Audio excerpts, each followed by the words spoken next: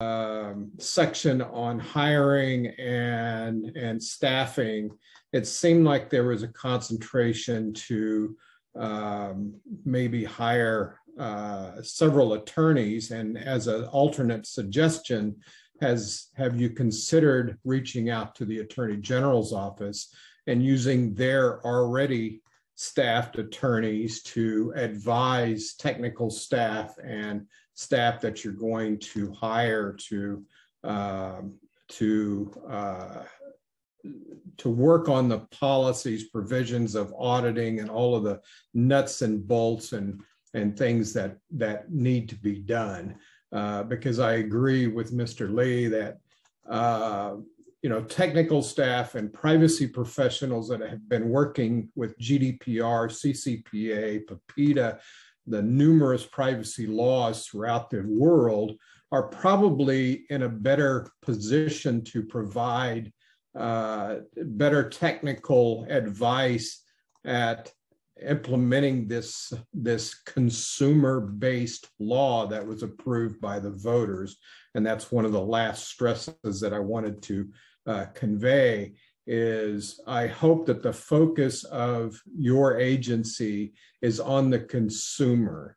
Uh, when you were talking about real estate, uh, I would think that since this is a uh, you know supposed supposed to be the benefit of the consumer, a more a location that is uh, uh, better suited to the consumer to be able to come in uh, once we have that capability post COVID, uh, would be better suited rather than a state building.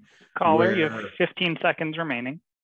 Where they may not be uh, free to come in and express a concern about their particular privacy concerns. So that's some of the synopsis of the uh, comments that I already sent to you via email. Thank you. Thank you for your comment. Thank you very much, Mr. Wright, for your comment. Mr. Joseph Pinero, is there further public comment? I'm seeing no additional comments at this time. Thank you, Mr. Joseph Pinero. Um, I um, propose that we have two options here. Um, one would be for the board to approve uh, per diem policy with amendments um, that we decide in the meeting, and Ms. Sierra and I will make those amendments. Um, the second would be for Ms. Sierra and I to make amendments and bring them back to the next board meeting. Um, I am agnostic on which option we take, but I understand the amendments to be number one, to remove any requirement or apparent requirement to report actual hours and instead only record days worked. And number two, um, to replace the um, six hour um, definition um, uh, with either um, a um, requirement or guidance, um, again, I'm agnostic, um, that a per diem, uh, per diem, to claim a per diem, one should do um, substantial work and that is not X. I, uh, we could, we could, we could move forward in either, either fashion. Uh, I am fine with either Ms. De La Torre. So my suggestion is that um, we approve it now with the understanding that those changes are going to be made. I think it's the more expeditious way. And then maybe um, we can uh, discuss the guidance on what will be the minimum that should um, we, we, should consider in, in a future min- meeting or, or um, I guess in a meeting. I, I, guess there's no other way to discuss it, but um, just just make it a guidance that can be a paragraph that is uh, provided to, to the members as you know, do not report this or do report these, these other situations. Um, it just seems to me that's more expeditious. If I'm wrong about that and the other option is faster, then um, I'm, I'm flexible. Thank you, Ms. De La Torre. Um, I support that. Mr. Phillips, is that an appropriate form of motion? Yes, I think that would work. Okay, uh, thank you very much. Um, then I will ask the board um, if I could have a motion to approve uh, the um, a form of the per diem policy that the uh, Startup and Administration Subcommittee uh, recommends with the following changes. The first is that there is no requirement um, or apparent requirement to report hours that members will only report days. And secondly, that the um, six hour definition of a per diem be struck and be replaced by guidance to board members as to what counts sufficiently, excuse me, sufficiently substantial work on one day to claim a per diem. May I have a motion? Uh, I, I so move. Thank you, Mr. Le. May I have Thank you, Ms. De La Torre. I thought you were seconding, but um, I couldn't quite tell. Uh, Mr. Joseph Pinero, could we please have the roll call vote? Certainly. Thank you, Chairperson. Uh, so Ms. De La Torre? Aye. Ms. De La Torre, aye. Mr. Le? Aye. Mr. Le, aye. Ms. Sierra? Aye. Ms. Sierra, aye. Mr. Thompson? Yes. Mr. Thompson, yes. And Chairperson Urban? Yes. Yes. The vote is 5-0. Thank you, Mr. Joseph Pinero. The motion carries, and we will proceed um, uh, according to what we have agreed. Um, we do have one final um, uh, item from the Startup Administration Subcommittee, uh, which is simply the board's uh, request for um, the board's sense of whether our um, plan for prioritizing board level policies um, is the same as the board's uh, and or if the board would prefer us to um, uh, to revise our approach and um, uh, do something else um, between this meeting and the next meeting. Um, so as we mentioned at the top of the meeting, uh, we have been pri prioritizing what we think we need to get done um, uh, right away with the understanding that we do have a fair number of policies we will need to be considering. Um, we recommend, um, first of all, that we continue that approach uh, rather than trying to flesh out all the policies that are in the handbook and any others we might need. Secondly, we recommend um, for the next priority the development of an incompatible activity statement. Um, and I will turn it over to Ms. Sierra um, if, for any detail that she would like to offer on that. Thank you. Um, so just briefly, the reason that we are recommending that this be the next policy that our committee work on, um, this what is called the incompatibility statement. It is something that is required by state law under the government code. It requires all state agencies to adopt one. Um, these are basically policies that notify employees that certain types of activities and outside employment may be incompatible with their duties as state employees. And you know, examples from the statute. The statute itself lays out a number of um, provisions that must be included. For example, what would be prohibited would include misuse of prestige and influence of your office. Um, it would be prohibited to misuse state time and resources. Um, but that list is not exclusive. Um, agencies can add additional items based on the mission of their agency in our subject matter area.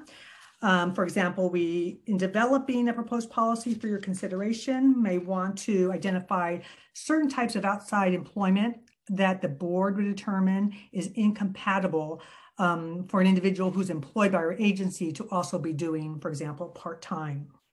Um, there is a process um, that an agency must pursue in adopting this type of um, statement.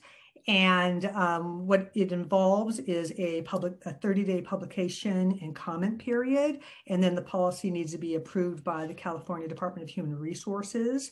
Um, all employees upon starting with our agency would um, need to review and sign once we have a finally final and approved policy. Uh, but before we did any publication um, and started that process, we would come to the board with the proposed policy. Um, you know, our aim would to, to present it to you at our next board meeting. And we'd also want to be exploring with you um, whether we should be extending some or all of these provisions to us as board members. And that would be through a conflict of interest policy because um, the incompatibility statement only pertains to the actual employees. So that is our proposal um, with respect to the next policy for us to work on and to present to you. Thank you, Ms. Sierra. Uh, I would add that uh, we have um, sought advice from the California Attorney General's office, um, and they are providing uh, example policy um, to get us started and background information that we can provide to the board um, when we are ready. Uh, is there comment on this as the um, next um, priority, uh, whether we should have additional or other priorities? Uh, Ms. De La Torre.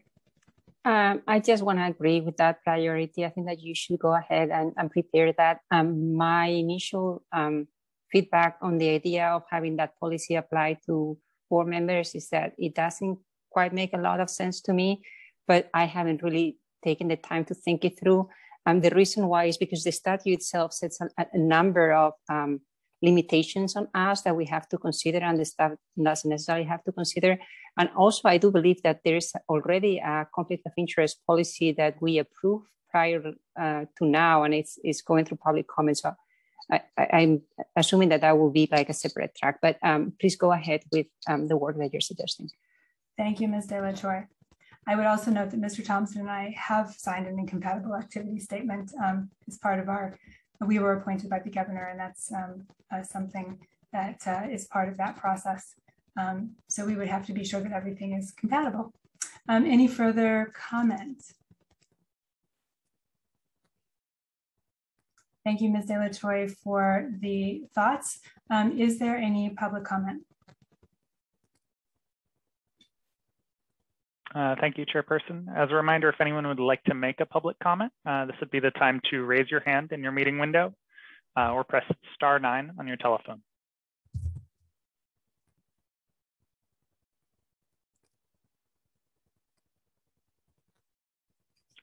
I am not seeing any public comments at this time. Thank you, Mr. Joseph Pinero.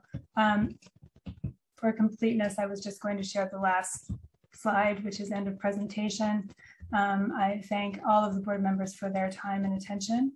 Um, Mr. Thompson, do you have a final thought? Yeah, sorry, I didn't know if, if your request for board member comments was about the incompatible activity statement or, or future priorities for the subcommittee. So I, I had a. I'm sorry to interrupt, but I just wanted to bring to the attention of the board that she's projected her full screen and she's probably not intending to do that. Oh, I'm uh, sorry. What was I showing? Yes. I was that what was I showing? I don't know. There were documents. Uh, I didn't. With several different documents. Oh my goodness. I do. No, my attention was to show the slide. Good. Um, that better? There you go. Okay. Um, I think the incompatible activities policy makes makes sense for the subcommittee to work on. I didn't know how we're going to start to flesh out what how we are thinking of the operating model of the of the agency kind of what the concept of our operations are, our, our goals and the capabilities that we need to achieve those goals and, and what structure. Um, obviously, some of those things will be within the purview of the executive leadership of the agency when it comes on board. But th these strike me as things we might want to get a head start on utilizing the capabilities of the of the subcommittee um, and they will be things I think the board probably has an opinion on. Uh, so I didn't know if that, how we were planning on, on addressing those bigger picture questions. Thank you, Mr. Thompson. Um, are you referring to um, something like a plan that Mr. Le brought up last time, something like an organizational chart, both? I, I think they, they work together. A strategic plan for what we need to achieve will spell out uh, long-term and, and medium-term goals. Um, and then we need to start to identify what capabilities we will need as an organization and then what structure we want to put those capabilities into.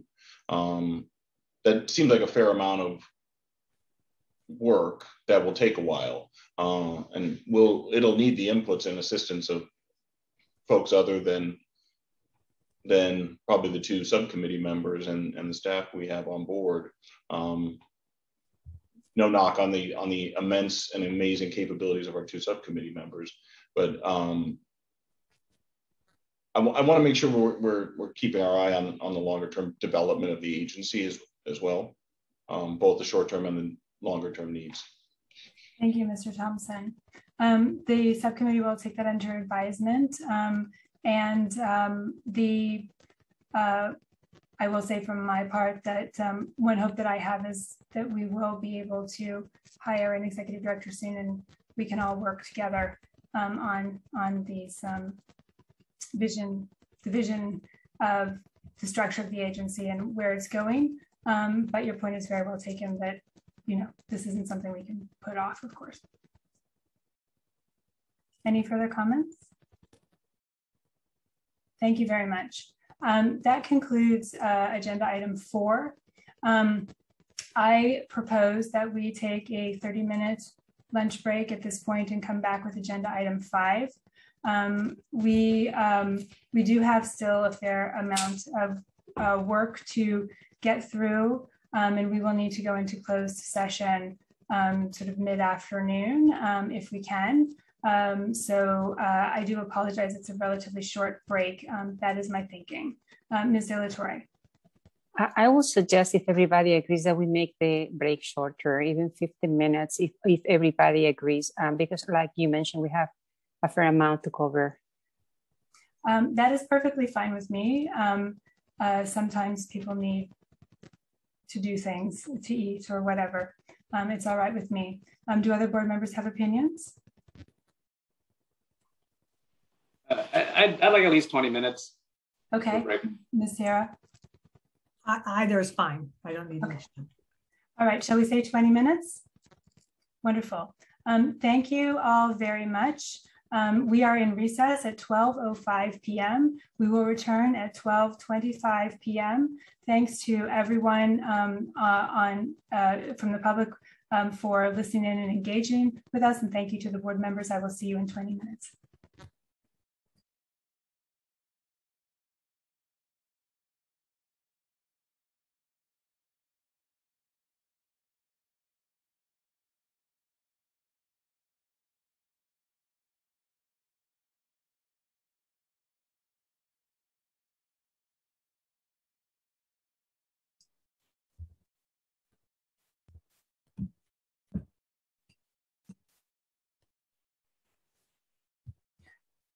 Good afternoon. Thank you to everyone um, for returning.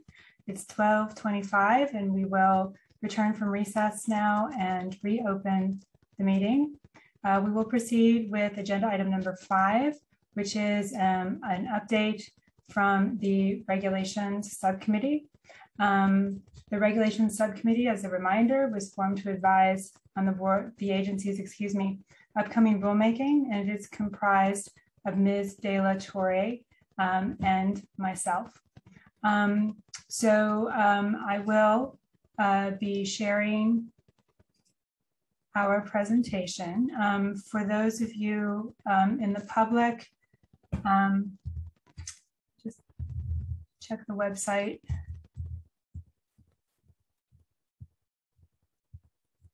The materials are available on the website. Yes, I know. They're numbered. I was I was going to direct um, people to the correct numbers. Um, this is uh, starting with part three, um, and our presentation is part five.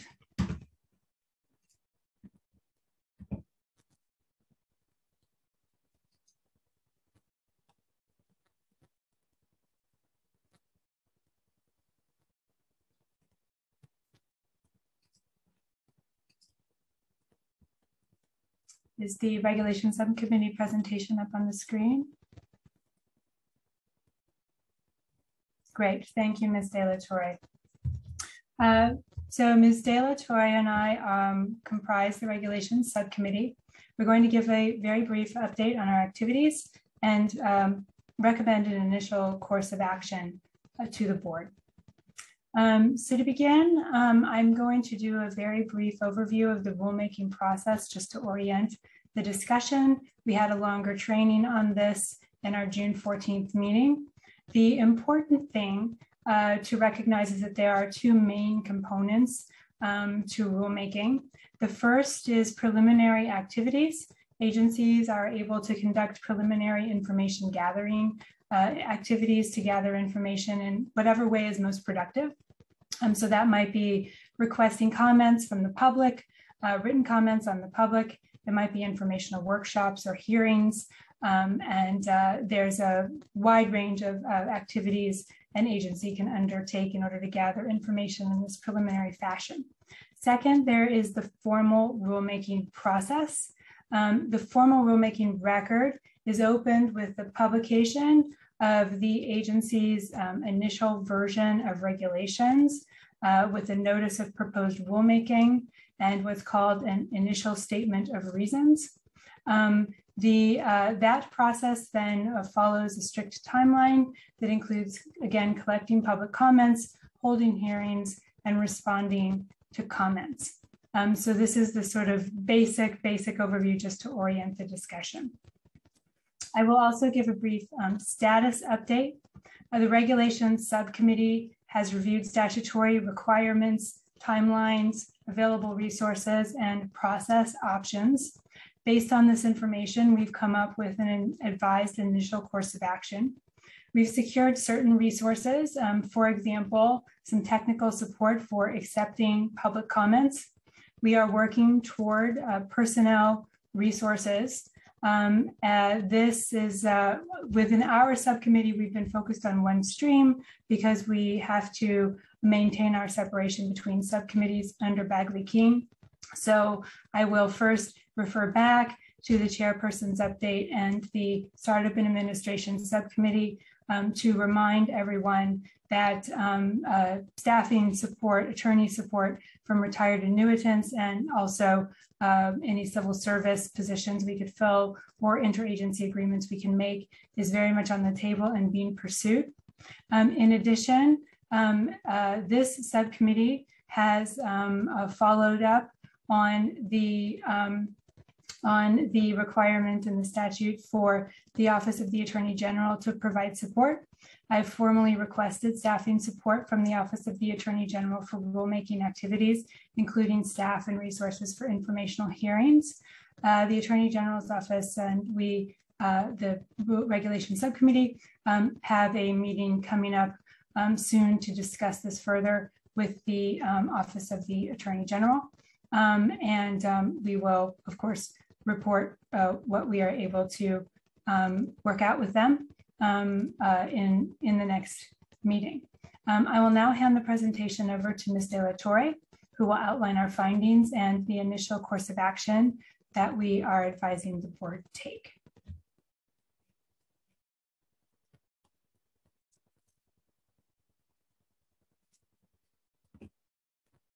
You're on mute, Ms. Apologies, I, I was on mute. Um, so you might want to move to the next person.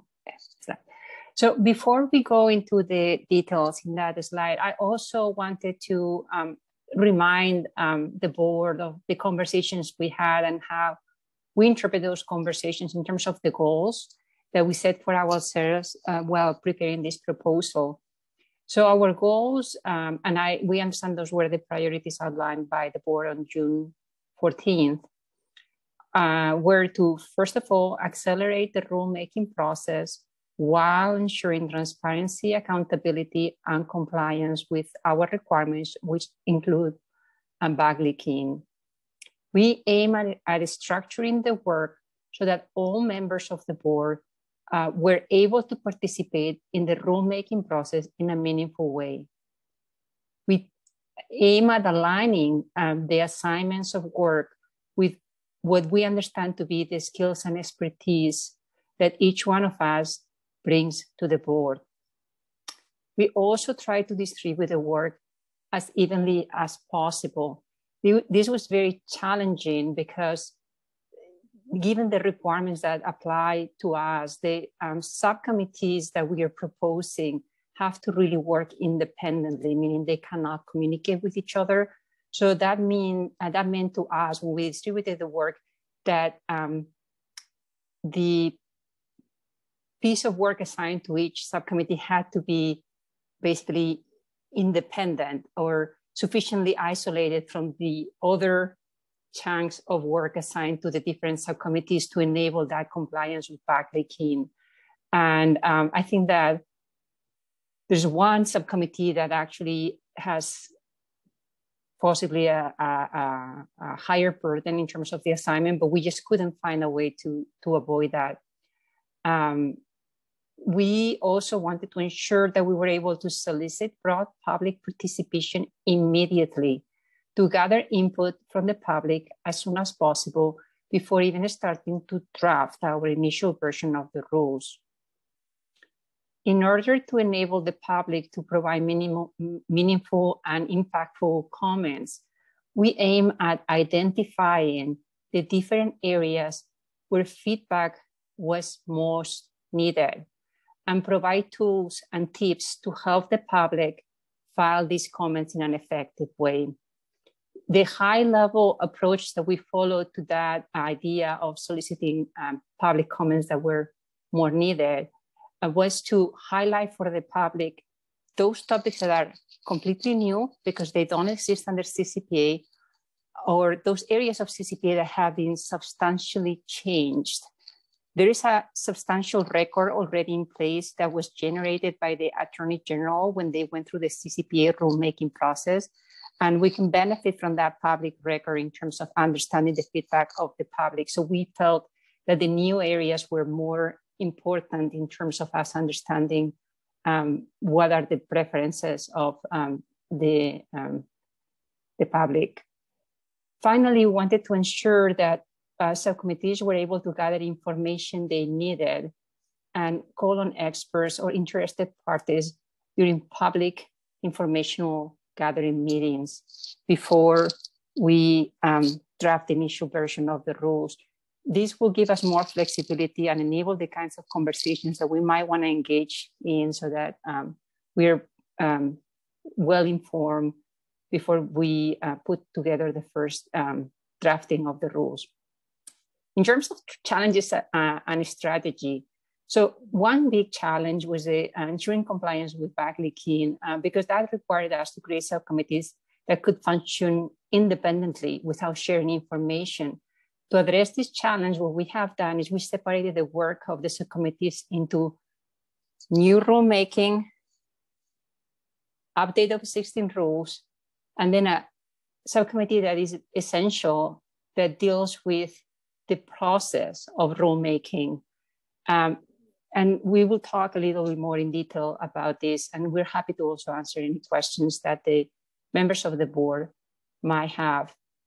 One of the challenges is that when we review the rulemaking, um, the, the, sections of the statute that talk about rulemaking, and there are several sections, some of them are, are not necessarily where you will expect them to, to be, but um, when we reviewed those sections, we identified that there were areas where there is a mandate to issue rules, but there are also areas where we are enabled to issue rules, and we have to account for conversations within the board to consider those areas and determine which ones of those areas that are allowable we want to um, engage in versus um, which are the ones where maybe it's not the right time to um, start a rulemaking process. The other challenges, uh, challenge that we face is the volume of work ahead. I think this was highlighted in the prior meeting, but it is expected that the current rules uh, are basically one third of the final rules that we will have. So we are going to increase the volume of what are already substantial rules uh, potentially by two thirds. That's a lot of work. Uh, we look for ways to maximize efficiency to deal with this volume of work. One of the strategies that we use for this is, for example, thinking about using existing records of public comments and responses gathered as opposed to generating necessarily a new record on the same on the same topics if it was not needed. Um, so basically, what I'm saying in in a nutshell is we want to um, maximize the great work that the AG put together and benefit from that um, as much as possible. In terms of work distribution, uh, we did ensure that after, um, you know, if our proposal is approved, that all members of the board will be serving in two different subcommittees. Um, and I think that in a way that will even itself out, some subcommittees I think are going to have maybe a heavier load, uh, particularly at the beginning of the rulemaking process. But like I said, it was really difficult to, to avoid that. Um, in terms of public participation, uh, we try to um, tackle that challenge. And, and I'm looking forward to the presentation of the third subcommittee because, you know, with the limitations that we have in, in meetings and gatherings and the situation with COVID is, is really difficult to, to think about different venues to enable this public participation. But one thing that we did is we tried to, in our um, request for um, uh, for comments, first of all, don't not use legalese and outline the topics in, in a logical manner, in as clear language as we could, you know, move all of those citations to footnotes so that, you know, regular people can read them and understand and decide what are the topics that are of most interest to them um, and if, if, the document can be accessible. We also decided uh, that it might be helpful to create uh, this a tips um, document for the members of the public to, to understand how they can best um, draft effective comments. So the proposed action course is, is right here summarized. The first thing is we will ask the board to authorize the immediate commencement of pre-rulemaking activities. This means that we would like to issue an invitation for comments, and we will also like to start working in identifying topics for informational hearings. Um, we, ha we have a, a, another slide that um, talks about suggesting topics. The second main point is that we are asking the board to approve the creation of three additional subcommittees. The first subcommittee will take over adapting and basically redlining the existing CCPA rules to align them with CPRA requirements. The second subcommittee will take over creating basically rules from scratch. These are for topics that are not addressed currently in CCPA and therefore they are not in the CCPA rules. This committee basically doesn't have a record to refer back to because it's going to be dealing with new items. The third subcommittee is the rulemaking process subcommittee. And that subcommittee will be responsible for helping us get through the rulemaking process. One of the initial uh, things that we anticipate we will be doing if the proposal is approved is to start informational hearings. The rulemaking process subcommittee will take the input from the other subcommittees in terms of the topics, and then we'll work independently to enable us to put together um, a good um, um, panels that include the expertise that is um, desired, required in order to provide the feedback that the um, CCPA rule update subcommittee and the new CPRA rule subcommittee um, deem necessary. As a note, we also propose that the current regulation subcommittee will dissolve September 17. I will miss Jennifer very much. I'm not gonna get to talk with her every day. But um, we need a little extra time. The reason we don't want to dissolve it immediately is because, like Jennifer mentioned, we have a conversation already scheduled that needs to take place. And also, I don't think it's mentioned on the slides, but um, both of us have signed up for rulemaking school, which is a three-day um, commitment. Uh, and typically, you know, if we had a general counsel, the general counsel should go to a school. But since we don't, uh, we, we're going to put ourselves through school so that we better understand the process and are uh, able to to to guide um, the subcommittees um, and ensure that we comply with it. In terms of hiring staff, we have the, the bullet point there, but I really would like to refer you to the discussion that we already had. Um, uh, we're hoping that um, uh, at least my personal hope is that the uh, conversation with the AG will result in some form of immediate support for these subcommittees, maybe um, an attorney part-time, but uh, we cannot promise that the conversation is is still to be had, but um, we're, we're uh, aiming at having one person at least support each one of these subcommittees, even if it's in, uh, on part-time basis. Um, do we move to the next slide? Jennifer, is there something else?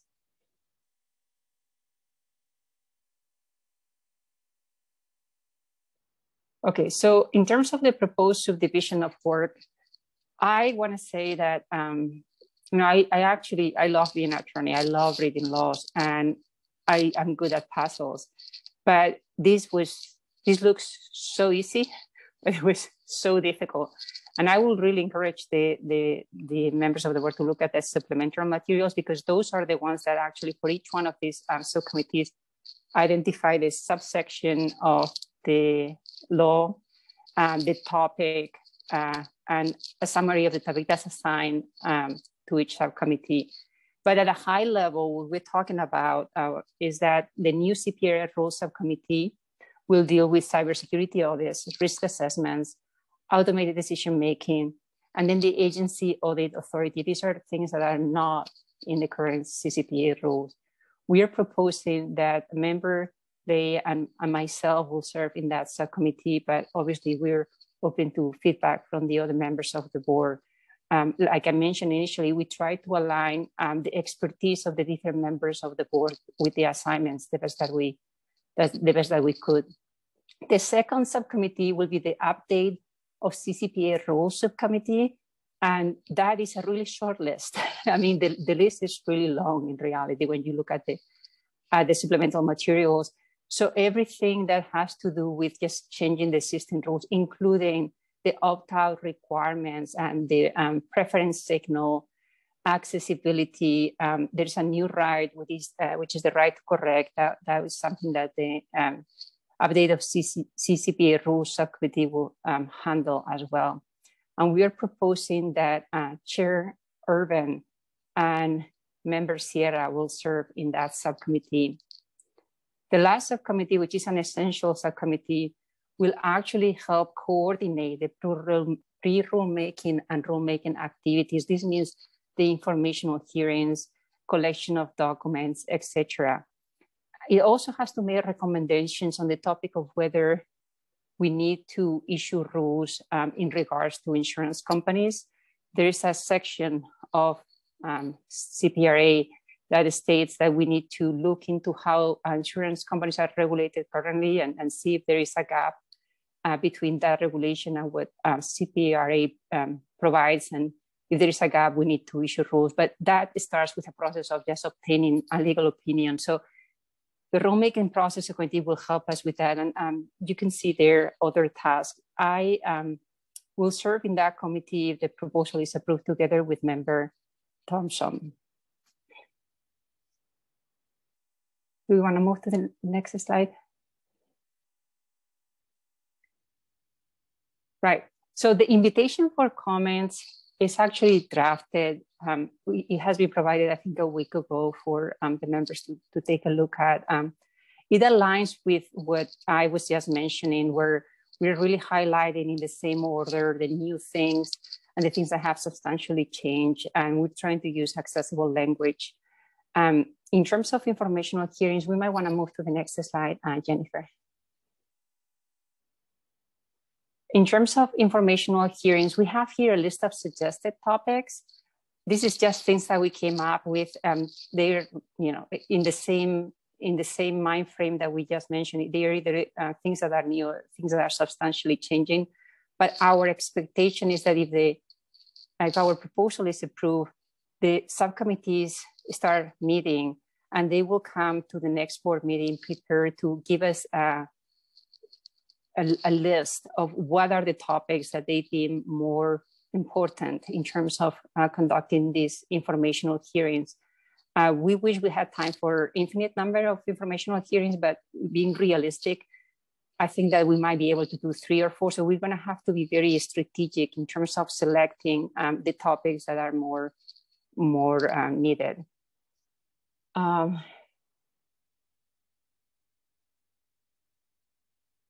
I don't know if there's anything more. Is there anything more, Jennifer, that I'm missing? Thank you, um, Ms. De La Torre. Um, this, thank you for the thorough description.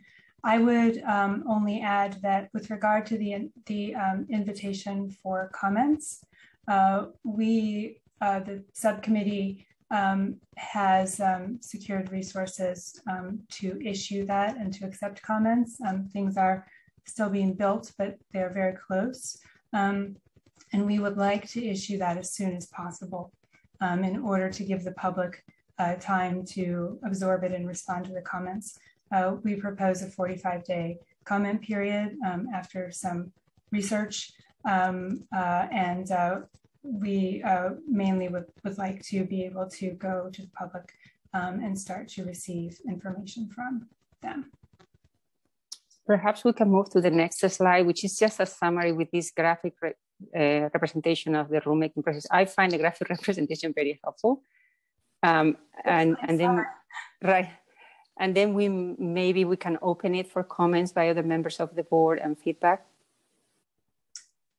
All right, so this is a summary of recommendations. We have some draft timelines in here, um, understanding that the subcommittees are going to be reporting, and of course the process subcommittee um, will um, have a critical responsibility here, uh, but we were trying to count back um, uh, and figure out sort of what some rough timelines are.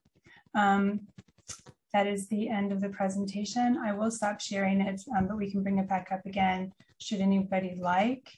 And One thing that I was going to mention, Jennifer, I know member um, Thompson asked for an overview of what the AG had needed in terms of resources, and I actually found my notes on that. So I'm happy to read from those if, if that is um, helpful. Um, I think a, a rough estimate um, would be appropriate.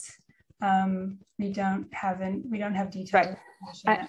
right. We don't have details, and to be honest, I think that um, we will need more resources than the AG for two reasons. Number one is we have more rules, but number two is our process is more complex because we operate as a committee. So everything is going to have to come for approval. They didn't. They really didn't have to go through those steps. Um, but one thing that I can share from what uh, the AG shared with us is that it is clear to us that the, the, the need for resources increased over time, meaning the preliminary activities might need just one full-time person and some support versus at the end when you're talking about assembling the final rulemaking package and obtaining approval, we might, if we are in a position to do so, have several attorneys or legally trained staff engaged in helping us do that. And the initial drafting and the creation of the um, NOPA, uh, that also will be a point where we will start needing more um, staff. We were advised to look for perhaps software solutions that help us track comments. Um, we are apparently there is no like off the shelf package that we that we can buy to do this, but it is really really involved because every comment that is filed, we're going to have to identify um, which pieces go to which rules and answer each comment. Not if we have the same comment made by multiple people, we don't have to answer it multiple times. But we really that that just requires a lot of very detailed work reviewing and creating these, these packets. And the last thing that I want to remind everybody, which the AG also reminded us, is that we are not the only agency that is involved in the rulemaking process. We cannot necessarily anticipate the time that other agencies that will need to provide approvals or participate in the process may need. Uh, so we are hoping to have the public understand that that's that's the case that we we we don't fully control the timeline here. Thank you, Ms. De La. Um, comments and questions from board members on our proposed course of action or um, any of the documents?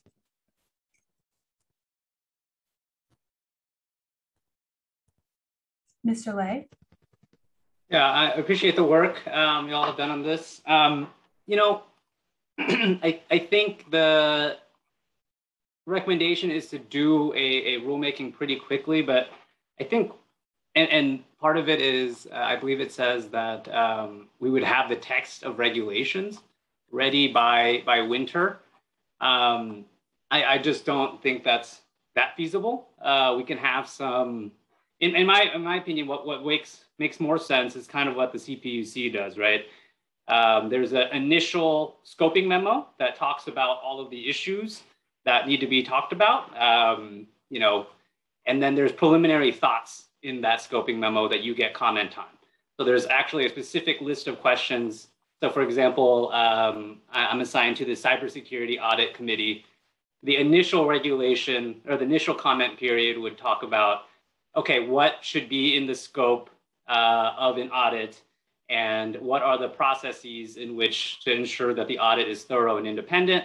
Staff a, or the subcommittee would put some ideas out there, but we wouldn't have actual language of the regulation yet, because uh, that would have us creating from whole cloth, at least for our the, the new rules, just brand new rules that we don't actually have anybody's thoughts on. And then after we get those comments, you know, they're all arranged by question. Then staff comes in, they, they draft proposed rules and then there's a proposed decision that comes out and then you get comments on that exact on the exact language of the the, the proposed regulations and then there's a final decision so i think there has to be at least two two rule makings at least for the uh, the new rules subcommittee so that we have some material to work with in in creating these new regulations thank you mr Le so um, would you advise that the subcommittees prepare the scoping information for each of their topics. Um, and, and forgive me, um, uh, we, we are going to roll school next week. Um, but is the CPUC process, um, I mean, I like this, I like the substance of the idea. Is the CPUC process um, a formalized process like um, the final rules, or is it, a, is it something that falls under the guise of preliminary activities? Yeah, it, it's it's a pretty um, and and Chris, you may have some thoughts on this. Yeah, it's a pretty well defined process. Um, it's all in the rules of practice and procedure for the CPUC. 30 day comment period, 15 day reply period, or 10 day, I believe, and then there's administrative law judges. So it's a pretty it's a pretty uh, I don't want I don't say we got to adopt the whole thing, um, but I think the the idea of having these phased comment periods to create the record, to create the regulations, uh, makes a lot of sense. Thank you, Mr. Le. Um, Ms. Ms. De La Torre. I was going to mention that one thing that comes to mind is that we might want, I mean, the idea that Jennifer and I really had was to leave some of these details to be defined by the subcommittees independently. The, the process, we, we have a process that we have to follow because it's, it's mandated by statute. We, we're going to have to follow that for all of the rules. But the idea, for example, of generating a memo and getting that uh, initial feedback might be really, really helpful for the new rules subcommittee, but might have less impact in terms of the work of the CCPA update committee. So I, my suggestion is that whatever decision is taken in terms of the things that are not mandatory should be left to the subcommittees to, to design so that the process is designed in a way that better serves their needs. I would add that um, we very much recognize how aggressive the schedule is. Um, it is was produced the draft. I mean the sort of rough timeline. It was produced by counting back from our statutory deadline, um, and um, we can certainly explore options um, uh, for managing that. Um, but that's that's where that's where the sort of rough timeline came from. There's a process with the Office of Administrative Law um, that takes a certain amount of time, um, and there are all the required parts of the uh, formal rulemaking process. Um, we also have to um, give our notice um, that we will be taking on authority to pass the rules uh, to the Attorney General, um, but we don't have to do that quite uh, yet. Um, we will just have to consider it pretty quickly. Other comments and thoughts from the board members? Yes, Mr. Le. Uh, yeah, I hate to ask this, but you know, is there any way to push back that that pretty concrete sounding deadline of July 1st, 2022? Um, yeah, because it makes sense counting back, having two 45 day rulemakings um, is going to be tough. And uh, just without staff to draft the regulations, this is, uh, is going to be really difficult. Thank you, Mr. Le. Um, the, the, there are options. Um, one option would be um, to request that the legislature uh, revise the deadline. Anything the legislature does would have to comport with the purposes of the statute, um, essentially to protect Californians' privacy. I know you know this, Mr. Le. I'm just finishing the whole thought all the way through. Um, there is another option, um, which is the legislature does designate some regulations as what are called emergency regulations. Emergency regulations follow a slightly different timeline. Um, they go to the Office of Administrative Law on a very short timeline and then go into effect.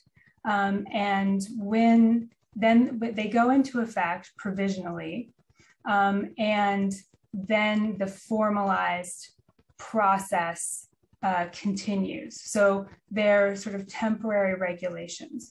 Um, there's there it's also completely allowed um, to do all of the preliminary information gathering um, in order to have high, you know, high quality regulations, but it changes the timeline to some degree. Um, there are obviously trade-offs. Um, there's um, there's uh, the there's the the question of what it would mean um, to have the sort of emergency temporary regulations. Um, we could address that, of course, to some degree by making sure that we really have input um, in advance. Um, there are also other timelines um, in the statute or other deadlines. For example, when the regulations take effect and consumers and businesses need to follow them and enforcement. Um, so all of that would have to be taken into account. But those are two um, potential options in addition to um, what uh, Ms. De La Torre and I um, are proposing um, to meet the existing deadline. I, I just wanted to, to mention that, um, you know, from my point of view, I think it's also important to consider that we have to allow time for the organizations that are going to be subject to these rules to actually implement the mandate. And the um, you know the, there's these alternatives that um, the chair just highlighted that really required us to have a conversation with Sacramento and change the law. But from my point of view, there are more simple solutions uh, that we could consider if we are not able to have final rules by the deadline. We could consider giving a grace period for enforcement, which will enable the organizations that are going to have to comply with this to have some time where they can adapt their practices to the requirements and while being confident that they are not going to be subject to enforcement um, when they didn't really have a realistic kind of ramp up period to to um, implement the requirements. Um, so that is a more th- that's completely on our agency to decide as a policy as opposed to a solution that will require us to go to Sacramento and implement a legislative change. Thank you, Ms. Torre. Um, I just amplify the point of the, the nested or the, the, sorry, not nested, but subsequent deadlines, which um, are all connected. Uh, Mr. Thompson? Thank you, Chairperson Urban, and, and thank you to both of you for this presentation is well thought out, well laid out, and, and good, really good work. So I appreciate how much effort and clarity of thought uh, is, is demonstrated here. Um, you know, I think a lot of your proposed course of action makes sense. The subcommittees make sense.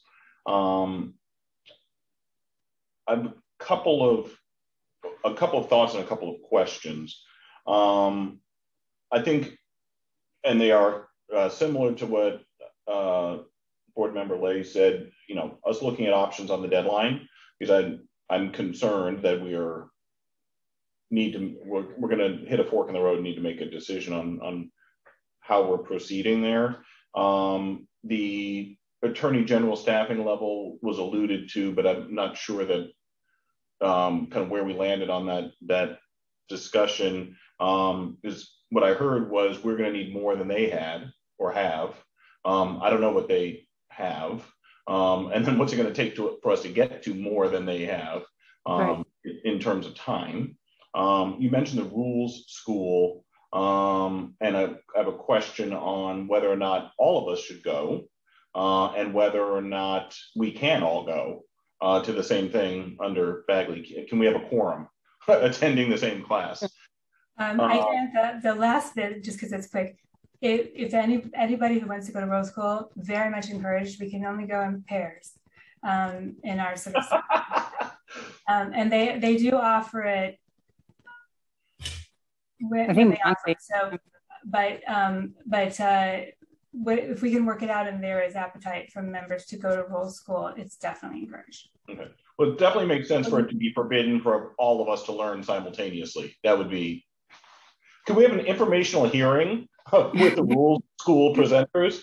We, we could we could do a publicly noticed um, meeting um, if if they were able to do it. They have a schedule. Uh, it's a very um, efficiently run organization with not very many staff, so they have a they have a sort of a sequence that they that they follow and school that they offer when they offer it. Um, but I think you know we can explore various options. Right. And I believe that once we are able to onboard the general counsel, this should mm-hmm. be something to consider. If the general counsel doesn't, I mean, we might be lucky enough to onboard a general counsel that doesn't need that kind of training, but um, we really need somebody to ask questions from more than you know having the information ourselves. It might be more efficient, um, but definitely um, we can we will report back in the next meeting about the experience. It's a three-day commitment, but um, anybody who wants to participate in it should, should be welcome to do so. Um, yes, they do have to accept you. There's a process, but we can, um, and we've heard great things about it. So, you know. So if everybody has, for example, Debra's email, and I believe we all do, maybe it would be a good idea to just uh, any board member that thinks that they would be interested, just send her an email to let her know and we can work from there, Jennifer? Yes, please do send an email to Ms. Castanon so um, she can track the, the logistics. Um, sorry, who is administered by whom? The rules the office, the Office of Administrative Law. Okay. Um, which is the regulating agency that regulates our regulatory process. Um, they they will have to approve our final version of the rules before um, they go into force. Yeah. Right. And they also have some good information on their website, um, but it isn't the concentrated rules school. Okay. And so it's three days, you said three full days? Three full days. Mm-hmm. So more than six hours. yes. Uh, I think it is. I think it's it goes to five. yeah. Um, Now, Mr. Thompson, um, I, I thought that was going to be quick. So I apologize. Did you have more um, that you wanted to cover? Uh, yeah, the well, and what Vinhcent mentioned about the CPUC process. You know, I think this is something that the process subcommittee can look at, but it bleeds into the earlier comment about our organizational model and how we're thinking about things, mm-hmm. because those are well well documented and well established processes, um, both for their investigations and their rulemakings that that we should That's learn right. more about. Um, and I, you know, happy to take that up in the subcommittee with with some recommendations from what that agency and other agencies do. Mm-hmm. Um, but I, I, do think that also will start to influence our structure because um, I, I, do think there are some advantages to th- that commission structure and, and how they how they operate, and there they there are some similarities in their administrative law and enforcement functions and their policymaking functions. Um, so I thought that point was was well made. So to, so to go back to one is the AG staffing level. Um, was there something on the number of and types of folks that could be shared in in this meeting for our information? Because right. that, that, then flows into the point about the deadline for rulemaking. We, we do have exact numbers. Um, uh, the the range is uh, approximately 10 uh, towards the end of the process. At the towards the end of the process, um, some uh, that was um, people working pretty much full time. You know, there's part people are um, devoting some portion of their time at various levels. Um, uh, the Attorney General's office, of course, also has a full panoply of support services and technical services and all of those things, which is not to say we won't have those things. We're working hard to have those things. It's only to say that we do have to keep in mind the um, the dual uh, building the plane as we go down. We're building this. Right. We're building the capacity while we're um, while we're creating the rules. Um, so uh, you know, if for example we're able to hire um, some retired annuitants their experience with rulemaking, they can only work part time. Um, we have to think about how we will be able to build and allocate those resources. Okay, but thank you. That helps just give a sense of so 10 people of whom a certain number were attorneys plus support that was existing in the agency in a way that we don't yet have. So add add some some multiplier for the the support services that they were getting. Is that a fair way of thinking about it? I think so. It's very approximate, um, but you know, if we're thinking about, are we talking about two people? Are we talking about 20 people? You know, it does give us a kind of a picture. Yeah. Okay. Right. And I think that I was really encouraged by the information shared by the um, uh, startup um, committee about the possibility of bringing in uh, retired people who are very experienced. Because the one thing that we're going to have to consider is that this is not a permanent need of the agency this is a need right now because we have to do rulemaking, but those staff positions will have to dedicate their time to something else once we're done with the rulemaking. So it might be an ideal uh, fit for somebody who has the experience and comes for, for a limited time engagement. Thank you. Um, Ms. Sierra. Sorry. So that, that Mr. Thompson and then sorry my final point, which is about the deadline, because um, I had a similar reaction that that Vinhcent did. That you know, I look at how much time we have left, and I look at what we need to do, um, and the time frames for the informational hearings, and there was something else in the winter, spring of um, of 21, 22 uh, my back of the envelope from the last meeting was that we needed to have draft rules around January or February of next year to have final rules by July. That might have been a little conservative on my part, but I, I would worry if we're still gathering information in the spring, how we're going to get to final rules in the in by July 1st.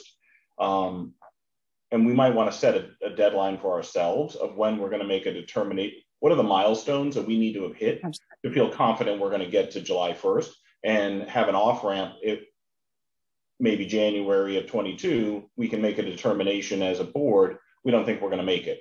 So, because we have to give the legislature time to act um, and consider a request if that is the, the, the course of action. I don't mean to be negative this far out, but it is a daunting task. No, we need contingency plans. There's no, there's no question. Um, this makes perfect sense to me. Uh, our proposal is to try to start informational hearings ASAP. Um, you know, and then there's just the question of practically how quickly um, yeah. we can do that, and we can do it in an efficient and meaningful way, where we're covering topics that are are topics that will um, provide the most use. Um, That's right but then that goes back to needing the people to staff. Mm, that's right. Need people to staff those hearings and to help us substantively in Correct. the hearings, in addition to administratively. Okay, thank you. Thank you, Mr. Thompson. Ms. Sierra. Um, yes, um, just first of all, I really appreciate all the work that went into this. This is really substantive and I'm I really um, very, very helpful. So thank you. And I, I think the approach you know, in this discussion, everything makes a lot of sense to me as well. Um, I had more of a logistics question on the informational hearings. Um, are they going to be board hearings that we can all attend, or will be different subcommittees will be just convening for different informational hearings? Or is that something that we just still need to decide? So, so one thing that um, we have during the pre-rulemaking process is a lot of flexibility. Mm-hmm. So we will encourage the subcommittees to reach out on their own and have conversations with different agencies or different experts that they want to get um, particular feedback from. Mm-hmm. Uh, that can be done without an open hearing. But in addition to that, which we will leave really to the decision of the individual subcommittee, we think it will be helpful to create some kind of public informational hearing. Mm-hmm. Um, we don't know, you know, I, I, th- I think realistically we cannot have more than four. So we have to be very strategic about that. The advantage of having those right now before the record opens is that we are going to have more flexibility in terms of engaging in a conversation.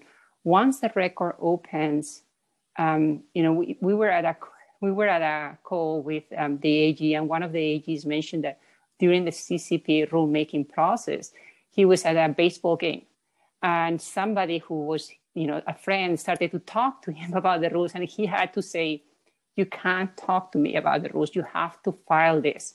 So that's the kind of um, transparency that is there for a for a very good reason but we're going to have to account for once the formal process starts so the the informational uh, hearings and the informal process should be utilized for to help the board members form their own mind as to you know where should we go with the initial version of the rules definitely once they're published we'll have all of the public comments and that's information that we have to also absorb and uh, used to um, adapt the initial version of the rules as we as we consider appropriate. But um, I hope that answered your question. Thank you. Um, no, that is very helpful. And I guess the, the additional part of it is, will we all be able to attend, or because of Bagley-Keene, we will only be able to do this in groups of twos? Jennifer probably um, can answer that better than me. But my understanding is that so long as it's in the agenda, um, and it's properly noticed, we could we could all of us attend. Uh, Jennifer, is that correct? That is my understanding. Um, I won't ask Mr. Phillips if he can uh, pause in case he wants to correct us, but my understanding is if it's properly noticed 10 days ahead, um, we can treat it like a public meeting and uh, all board members can attend. Great. Mr. Phillips is nodding. Thank you, Mr. Phillips. For yeah, you're right on. But you can you can also slice it up different ways. Um, if you wanted to have just a committee hold a hearing, you can do that and not have the formal notice requirements of Bagley Keene as well. As long as you don't have a quorum, you don't have notice requirements. Okay, so we have a lot of flexibility. We do have the constraint of resources for this. Um, so we'll have to keep all of that in mind, um, but we do have flexibility in how we organize it. Thank you. Other comments, um, questions? Yes, Mr. Le. Yeah, so how, you know, these informational hearings, and we'll talk about it a little bit in uh, our subcommittee uh, report. Um, you know, most of the substantive stuff comes in as uh, written comments. Um, and you, you mentioned about getting a platform uh, is are we just going to do emails like because folks email us or is there any plan to get a, um, a platform for, for us to receive comments uh, thank you for the question and i apologize for again gauging detail i gauged i gauged wrong there. Um, the um, folks at the department of consumer affairs who are um, providing us with it services are working with ms. Castanon um, to create the facility on our website um, for us to issue the invitation for comments and for people to respond. Um, that may be via forum, it may be via an email address like regulations at ccpa.gov, but it will be a standard um, uh, approach to having people submit written comments. There is a second. Thank you, Mr. Lake. I do want to I realized, Ms. De La Torre, we did gloss over a little bit what we do when we have the comments. Um, and um, for the sort of full picture for the board, um, we uh, we do have the facility um, to collect the comments. Um, one of the things that we are actively pursuing resources for um, is uh, the ability to redact them because we will want to make them public. Um, and we will um, be, um, I think board members can speak with Ms. Kesson about how they prefer to proceed. Um, if one wants to access them on the state, in the state repository, for security reasons, we do have to use state-owned laptops. Um, but there's also the possibility for subcommittees to wait um, until the material is redacted and made public. And I think that's really up to the subcommittee. Um, further comments or questions from the board? All right, I would like to um, propose um, two action items for you to think about, and then we will request public comment. Uh, the first action item will be a request for a motion to approve the regulation subcommittee's proposed course of action for preliminary rulemaking activities, including the preliminary information gathering activities we described and the formation of new subcommittees as described in today's presentation. And the second um, item is just to be safe and be sure that the board um, has gone on record um, as uh, approving uh, releasing to the public an invitation for comments substantially in the form of the discussion draft for comments reviewed today and inviting the public to respond with written comments within a 45 day period and that would as soon as uh, technically feasible. Um, uh, I have added substantially in the form because that document does have discussion draft at the top and it doesn't have, you know, the email. There are some, some little changes that would need to be made. Um, we could also, of course, consider edits. Um, but those are the two I would uh, um, action items I would like you to have in your minds as we go to public comment. Mr. Evan Panero, um, is there any uh, public comment? Uh, thank you, Chairperson. So if anyone uh, wishes to make a public comment, please press the raised hand on your screen.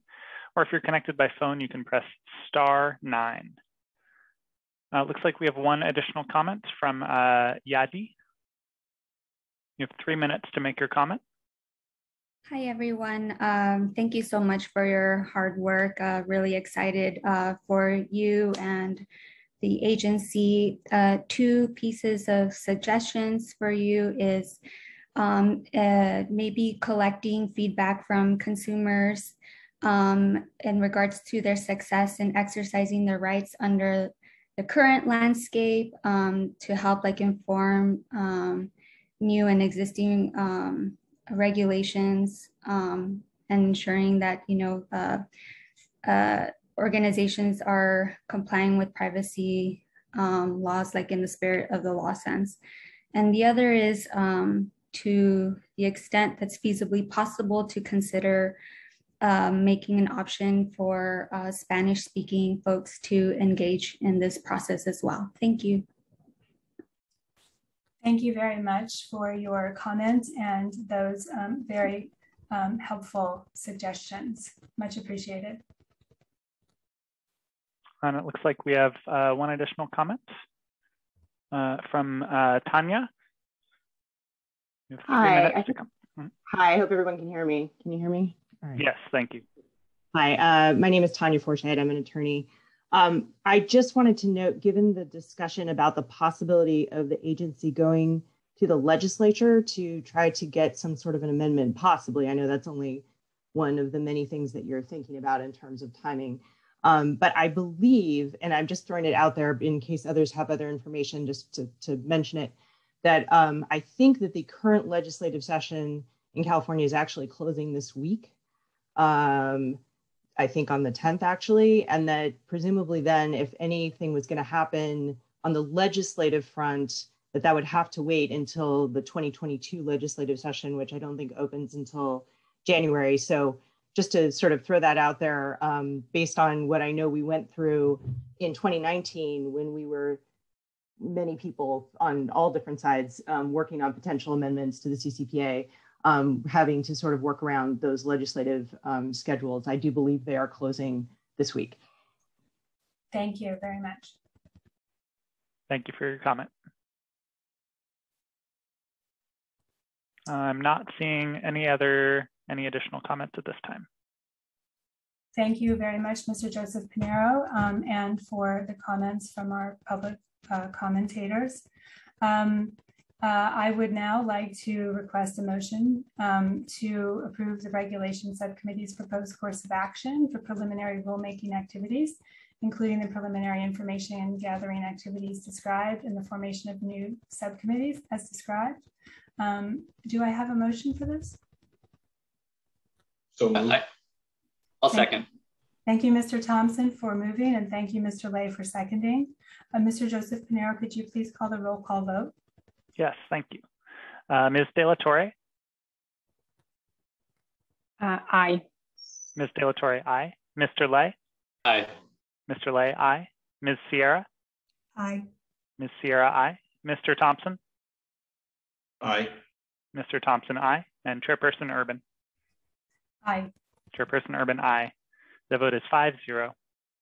Thank you very much. The motion carries, um, and we will um, we will um, enact the plan recommended by the regulation subcommittee.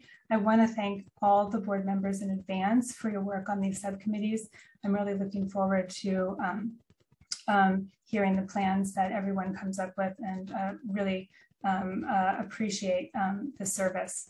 I would now like to request a motion to approve releasing to the public an invitation for comments that is substantially in the form of the discussion draft for comments reviewed today and inviting the public to respond with written comments within a 45 day period as soon as technically feasible. Do I have a motion?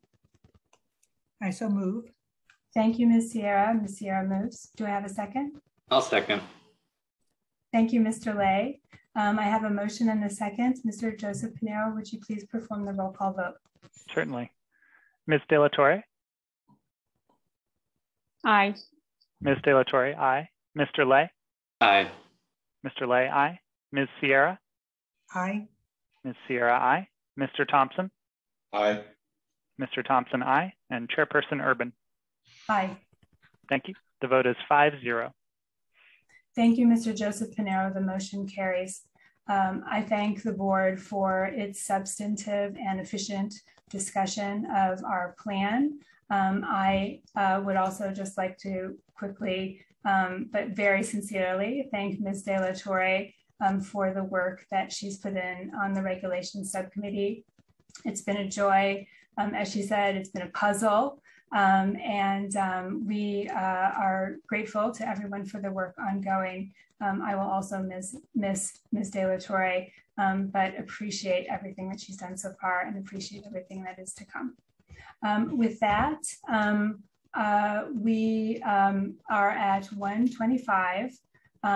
we have the public awareness and guidance subcommittee update coming up the delegation of authority for limited administrative functions, um, uh, public comments if there are any for items not on the agenda, um, a discussion of future agenda items, and when appropriate and sensible, we, need, we will need to circle back to the first agenda item um, to discuss our planning um, for meetings and public events.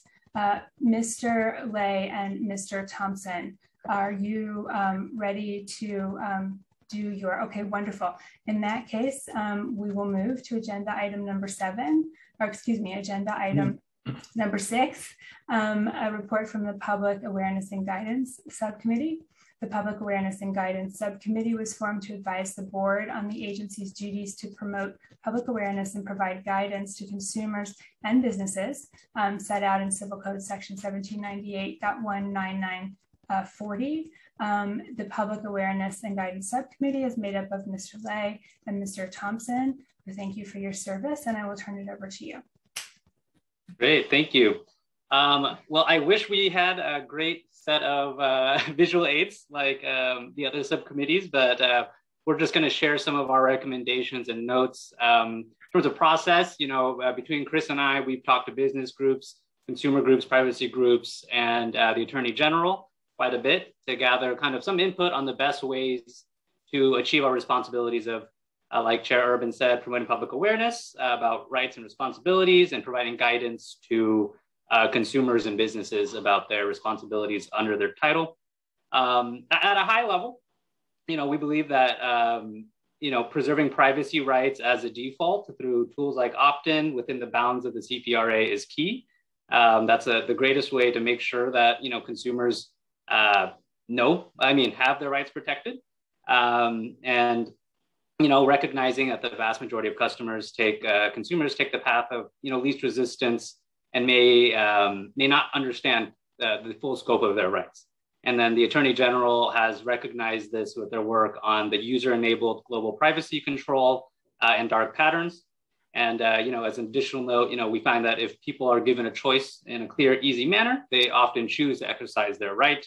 Um, you know, Apple, for all their recent issues uh, on on privacy, uh, its opt-in to tracking default um, app tracking transparency has created a situation where 96 percent of users uh, opt out of uh, tracking across apps. Um, but in terms of actual staff, I'll, I'll leave it to uh, Chris to, to uh, talk about kind of our ideas for the agency uh, before coming back to, to myself. Thanks, Vinhcent. Um, yeah, we, as, as Vinhcent mentioned, in particular, we, we benchmarked what the Attorney General was doing as far as their uh, public education and outreach function. And um, both as far as the uh, level of staffing, but also uh, what functions they were performing. Um, and so taking that information into account, the, our recommendation would be to have dedicated staff to do this function, uh, one to two pe- one to two positions to provide the, the privacy education and outreach function uh, that would track with the staffing level that the Attorney General's office had. Um, this is something that was mentioned in the regulation subcommittee. So it, it was almost um, foreshadowing our report, but the importance of accurately kind of communicating what legal requirements are in plainly understandable language so that consumers and others um, can understand what their rights and obligations are, but in an accessible way that doesn't require um, uh, uh, attorneys or legal expertise to interpret. Um, one of the things that was really critical to the, the way that uh, the Attorney General's office executed this was an interplay between the, the privacy education outreach function and their enforcement and legal operations to ensure that the outreach and education function was not getting too far, was not getting ahead of or binding the enforcement and, and legal teams. So, you know, work that they were, data that they were aggregating, reports that they were putting out, that they were not putting the enforcement folks in a position where they had given guidance to the public or to businesses that had the potential to conflict with enforcement actions down the road. And um, our understanding is they did that quite successfully within the Attorney General's office. Um, there, there's an observation that the media function was separated in the attorney general's office, but the integration of the two functions is is needed because you know uh, broadcast and print media are going to be a vital way of getting information into the hands of the public, particularly consumers. So the integration uh, and coordination of those two functions is going to be important.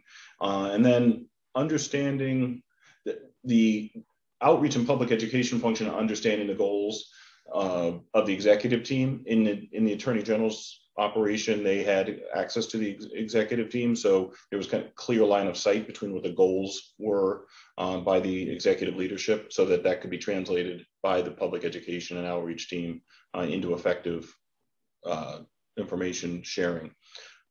One last observation was that there's a there is a, a great desire by regulated entities to understand what is expected of them and how they reach compliance, how they achieve compliance.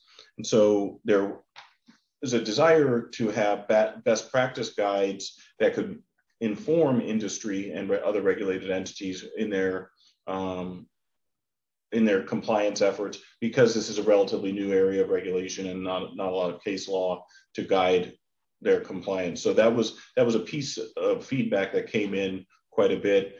Um, in addition to kind of best practice guides for consumers for what they can uh, how they can best protect their privacy. Uh, and I think Vinhcent will, will touch on that uh, a little bit later in the presentation, but those best practice guides for both consumers and business could be a vital piece of work out of this function. Thank you. Could I ask a clarifying question? Yes. Uh, thank you, Mr. Thank you both. Um, two actually clarifying questions. The, the first one, I, I think I understood, but I just want to be clear. Um, Mr. Thompson, when you were talking about um, functions being separated, uh, media, and you were you were talking about public awareness on the one hand and guidance on the other. Is that correct? I just want to be sure I have the right picture. I, I think actually, no. Uh, we were talking about how in, in, the Attorney General, there was a separate media uh, relations I group see. as opposed to the public education group. Attorney General, uh, well, privacy public education, Attorney General has a lot of different uh, responsibilities. Within our agency, we're only focusing on privacy, so it doesn't make sense to separate the two. So our privacy and outreach staff, uh, we recommended two, one to two full-time positions, ideally two um, to, uh, to do that work. And they should also handle the, the media relations uh, as opposed to separating those two functions. I understand. So the communications department would be melded. Yes. I understand. Thank you very much. Um, and then my second question was, uh, have you explored, um, to, have you sought advice or explored um, any um, uh, apologies, let me just formulate this properly. Um, what is appropriate to offer in terms of guidance? Um, uh, because my understanding is that in California agencies can sort of restate the law. Um, and beyond that, we have to do regulations. And I could be being too conservative in my description or not quite understanding it. But my main question is just whether you had embarked on um, doing any research into that question? Um, I'm not sure I understand the question. Uh, so like what's so guidance versus like regulations? Difference between uh, pure description and interpretation. Right, right. Um, yeah, so it, it we, we understand that the legal requirements te- uh, aren't very uh, are a little impenetrable for uh, lay people. Um, so for, for consumers in particular who don't have access to legal teams, um, they they would kind of need some plain English explanations, uh, plain language explanations. I'm sorry, um, to kind of understand those rights. So the guidance would be in.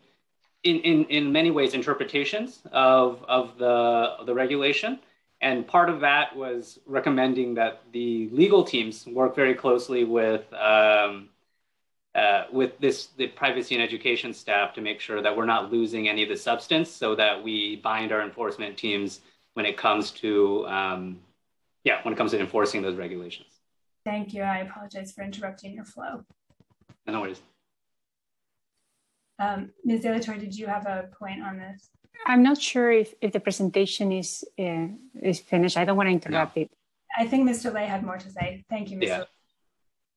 But I mean, if we if you had this is our main recommendation is around these two full time uh, employment positions. I don't know if you had any um, questions on that. I'm happy to we're happy to take them now if you'd like. That that makes a lot of sense. I, I really appreciate the work that you have done. I um, have a comment, but it's not on that. So maybe you know finalize the presentation and, and okay. then I can raise it.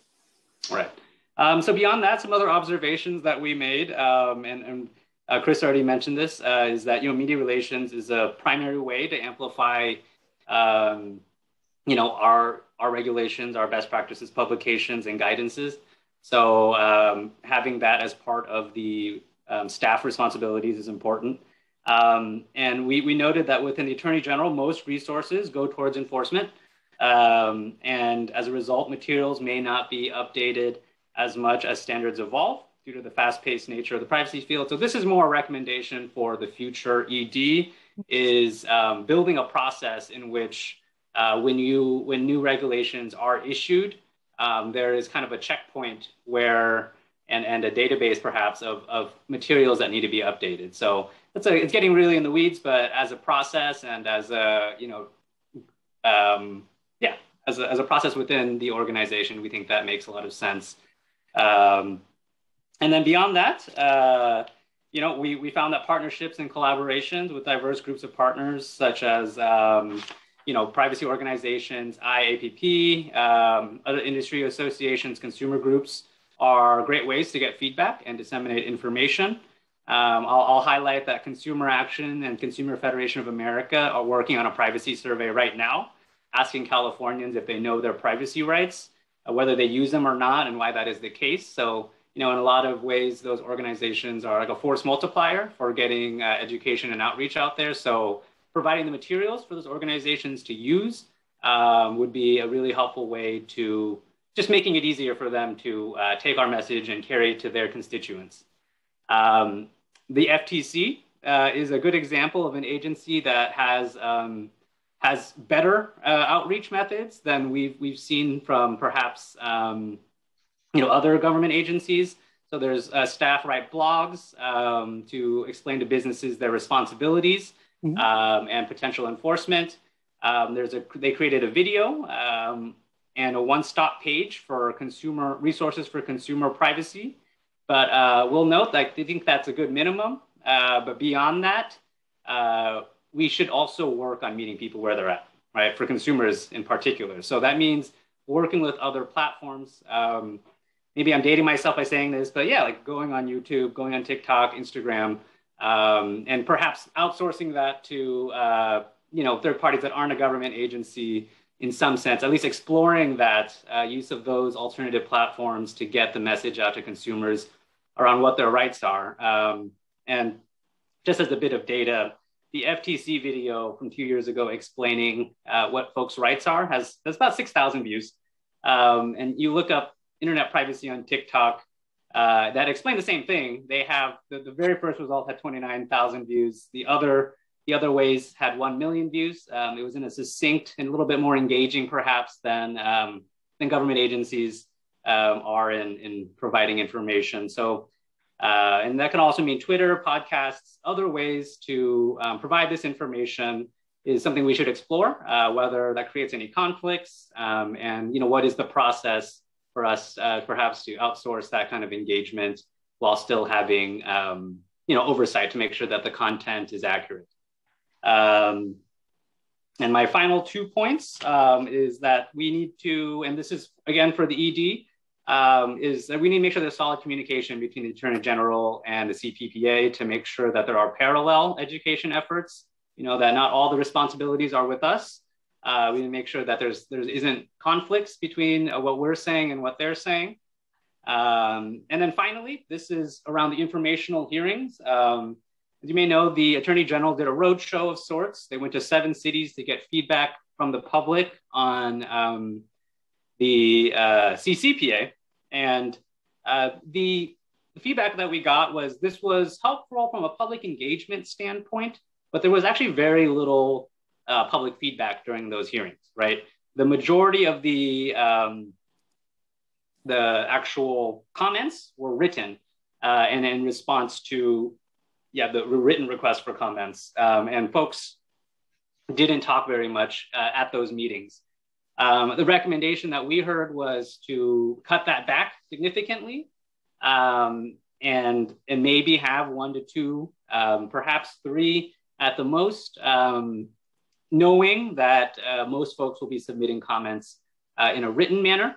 And uh, if we do do um, informational hearings, I think it's really important that we make sure the public and other stakeholders are in a good position to provide substantive feedback, right? So that's making sure that we're asking specific questions. So as I mentioned earlier with the CPUC, when they do a scoping memo, there's very specific questions that folks are, uh, are asked that will really help uh, agency staff craft the regulations. So we need to really, as in subcommittees and as we do these uh, these hearings, um, we need to make sure we develop good questions uh, for, for public to comment on that provides us the material that we need to create the regulations. Um, and I believe, believe that was it. Happy to take questions. Wonderful. Thank you very much, Mr. Thompson, Mr. Le. Um, your the clarity um, and substance of your presentation did not suffer from the lack of slides. So um, thank you. Uh, um, thank you very, very much for that. Um, uh, Ms. De La Torre? Uh, actually, my main question was answered already, and it was around um, how we will coordinate our efforts with the Attorney General, given that we share enforcement responsibility with them. It's really important, I think, that they are also involved in anything that we do on the education side. I was going to suggest as well, in terms of the question that was raised um, by the chair, which I don't have an answer for in my in my mind, but um, I know that a few years ago, when um, you know we all started using mobile telephones, the California AG put out a very good resource on privacy in the era of mobile, where they use um, the laws that were in place to interpret them in, in, in the context of mobile. And I think that could be a good reference as to the kinds of things that we might be able to do as an agency in compliance with the um, California requirements. The other resource um, that they have put out uh, is a data breach report. I think the last one is from 2016. And they are using basically a summary of all of their enforcement actions to um, derive some advice for organizations on how to put themselves in, in a good situation to um, ensure that the information is secure. So those two resources, I think, are a good kind of um, give us a, an idea of the kind of things that I think the agency will be able to do in, you know, remain in compliance with the California requirements. Right. Um, yeah, I think to your first point um, around the AG and uh, CPPA um, uh, communication, I think the, the the feedback that we got is like this really has to happen on the staff level. Uh, leadership has to make sure that these communication channels are open. Uh, but us as a board have you know, we, we can only do so much other than to say to ED like, hey, create this communication channel uh, between between these two um, these two agencies. And then uh, to your point about yeah, creating um, a resource like that, we believe that should definitely be part of the role of the, those two full time uh, those staffers, right? Is creating a one stop shop where possible, um, and then yeah, just just a, a resource uh, center for other organizations to use as they you know popularize um, and, and disseminate information to their constituents. Thank you, Mr. Light. Seeing no other hands at the moment, um, I would like to ask a question. Um, in thinking about sort of traffic flow and traffic control um, for accomplishing some of these really good ideas, I was hoping that if you are prepared to, um, the subcommittee could say a little bit more about these two staff positions, um, characteristics that you're thinking of, could be in broad terms. Um, I just have my mind on looking for classifications um, and uh, wondering if, I, if you could flesh them out a little bit more. Yeah, actually, there was a specific role, and I wish I, I had it um, a specific role for at the AG um, that we could probably copy that classification for. I don't have it in front of me right now. Um, but there was one person, and then they had an assistant. Those, those were the two roles. Um, and yeah, apologies. Never, yeah, never occurred to me to, to actually grab that classification, but there was a specific one. Um, and that, uh, as far as we know, uh, yeah, we could probably just copy that over as, as soon as I find that.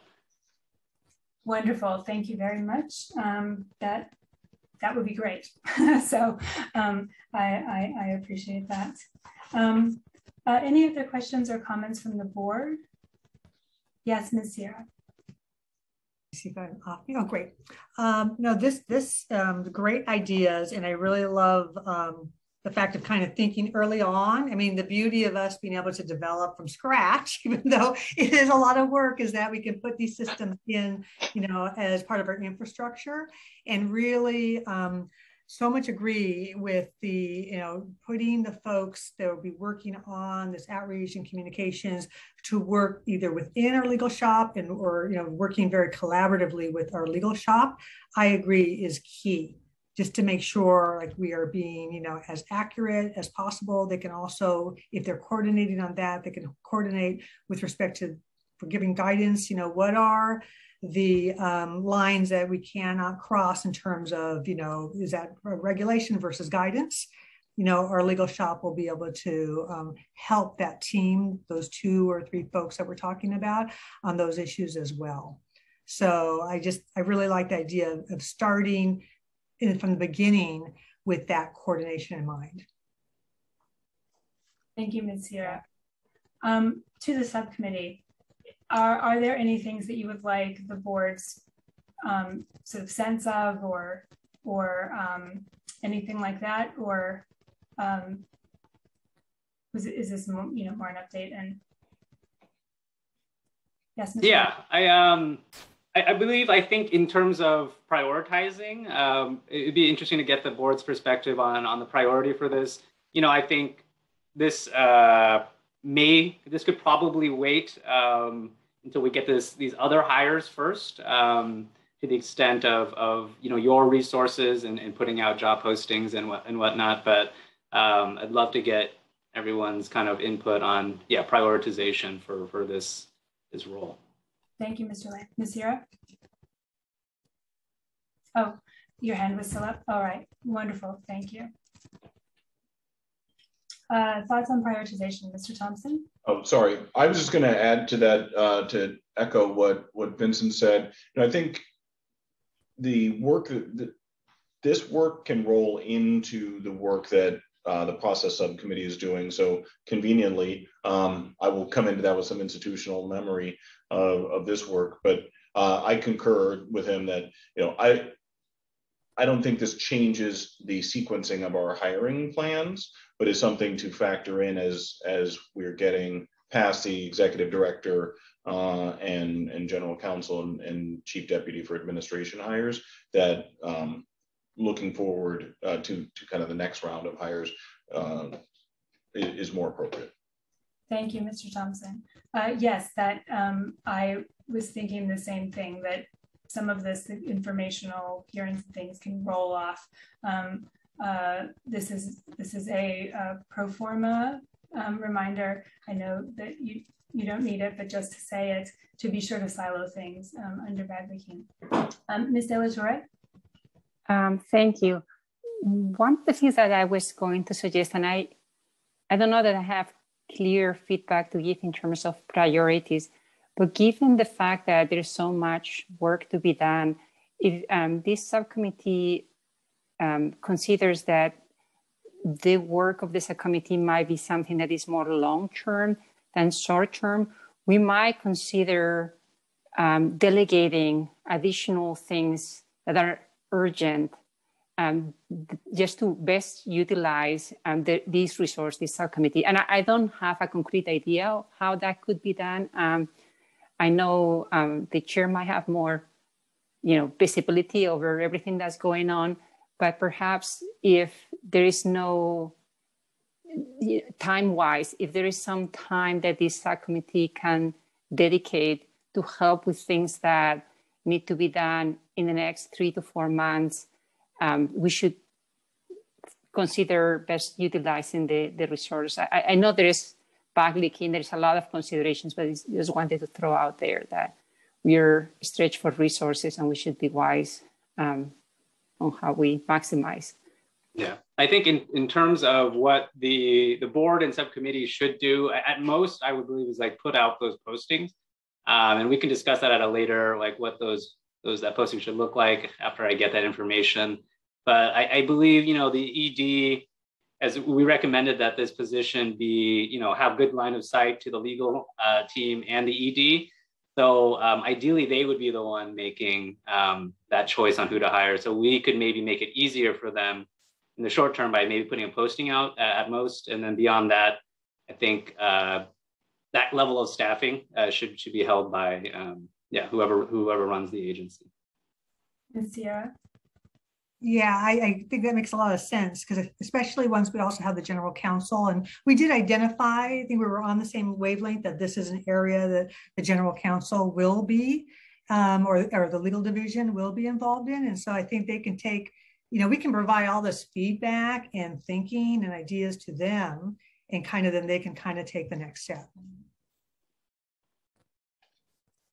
Thank you, Ms. Sierra. Is there any public comment?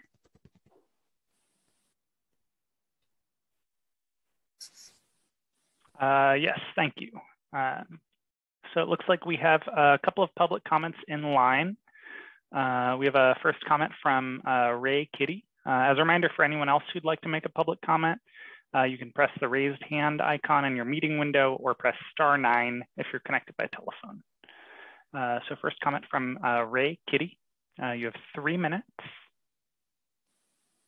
Hello, uh, thank you. Um, I wanted to just express, I know these are very early days, but um, as an information resource for the public, um, you all could do something really amazing. You know, uh, it occurred to me there's a resource, I can't make up the name for this, it's called Colossus, right? Companies have set this up and many companies buy into it. It provides them data about torts and product liability lawsuits. It provides amazingly detailed case data, which is very hard to get for the members of the public. You know, it's theoretically accessible, but hard to get. And so companies can come to a lawsuit and they can decide in this county, with this demographic, with this judge, with this kind of occurrence, how will we win? How, how can we avoid pain? How can we um, do, you know, be held as uh, little non-liable as possible? They have, they have this access to a strategic resource. As far as I know, no one is building that for the public. So I would just suggest you know, there's a continuum. You all could publish the information that's legally required to be published about things that happen, or you could publish, you know, everything you're legally entitled, you know, that it's legally possible for you to publish. That's continuum. And, you know, I would just encourage you to um, be as uh, uh, forthcoming with information about cases, what things have happened, who's sued who, who's had valid claims, how were things defended? How were things found to be wrong? How were mistakes corrected? And, you know, to put out any information which is public in any way, you know, including case data, any, you know, it's public information. You know, you all can be putting that out too. So I just wanted you to encourage you uh, to, um, you know, step up to that. And I'm really looking forward to seeing what you all do. Thanks, bye. Thank you. I, I did want to say when I'm looking down, I'm taking notes. Um, I know you can't see my notepad, but I wanted you to know that's where I'm looking. Uh, thank you for the comment. Great. Looks like we have a comment from uh, Barry Weber. Barry, you have three minutes to make your comment. I'll be quicker than that. I've got three quick uh, comments to separate. The first one is on the subject of resourcing for this awareness uh, component, I, I, think of it as two different kinds of components. One's a public relations component, and the other one's in a, a training slash awareness component. And it's uh, HR people or recruiters often talk about purple squirrels. It's tough to find uh, purple squirrels, and you might want to have to consider how many people really takes based upon actual um, skill set. Specifically in the education awareness space, you might want to consider uh, going down the path of gamification so, so there would actually be uptake of understanding. And that takes a different kind of skill set and thought process than PR, as an example. The second comment has to do with uh, the aware, general awareness. There's a lot of discussion about consumer awareness. There's discussion about business awareness, but theoretically, um, the your agency is going to come out with uh, regulations for employees also, and that is, I think, a different audience than consumers and, and, and business. You might want to think through what that means from an awareness standpoint. Uh, the third one is that I think that the six of you would make a great TikTok.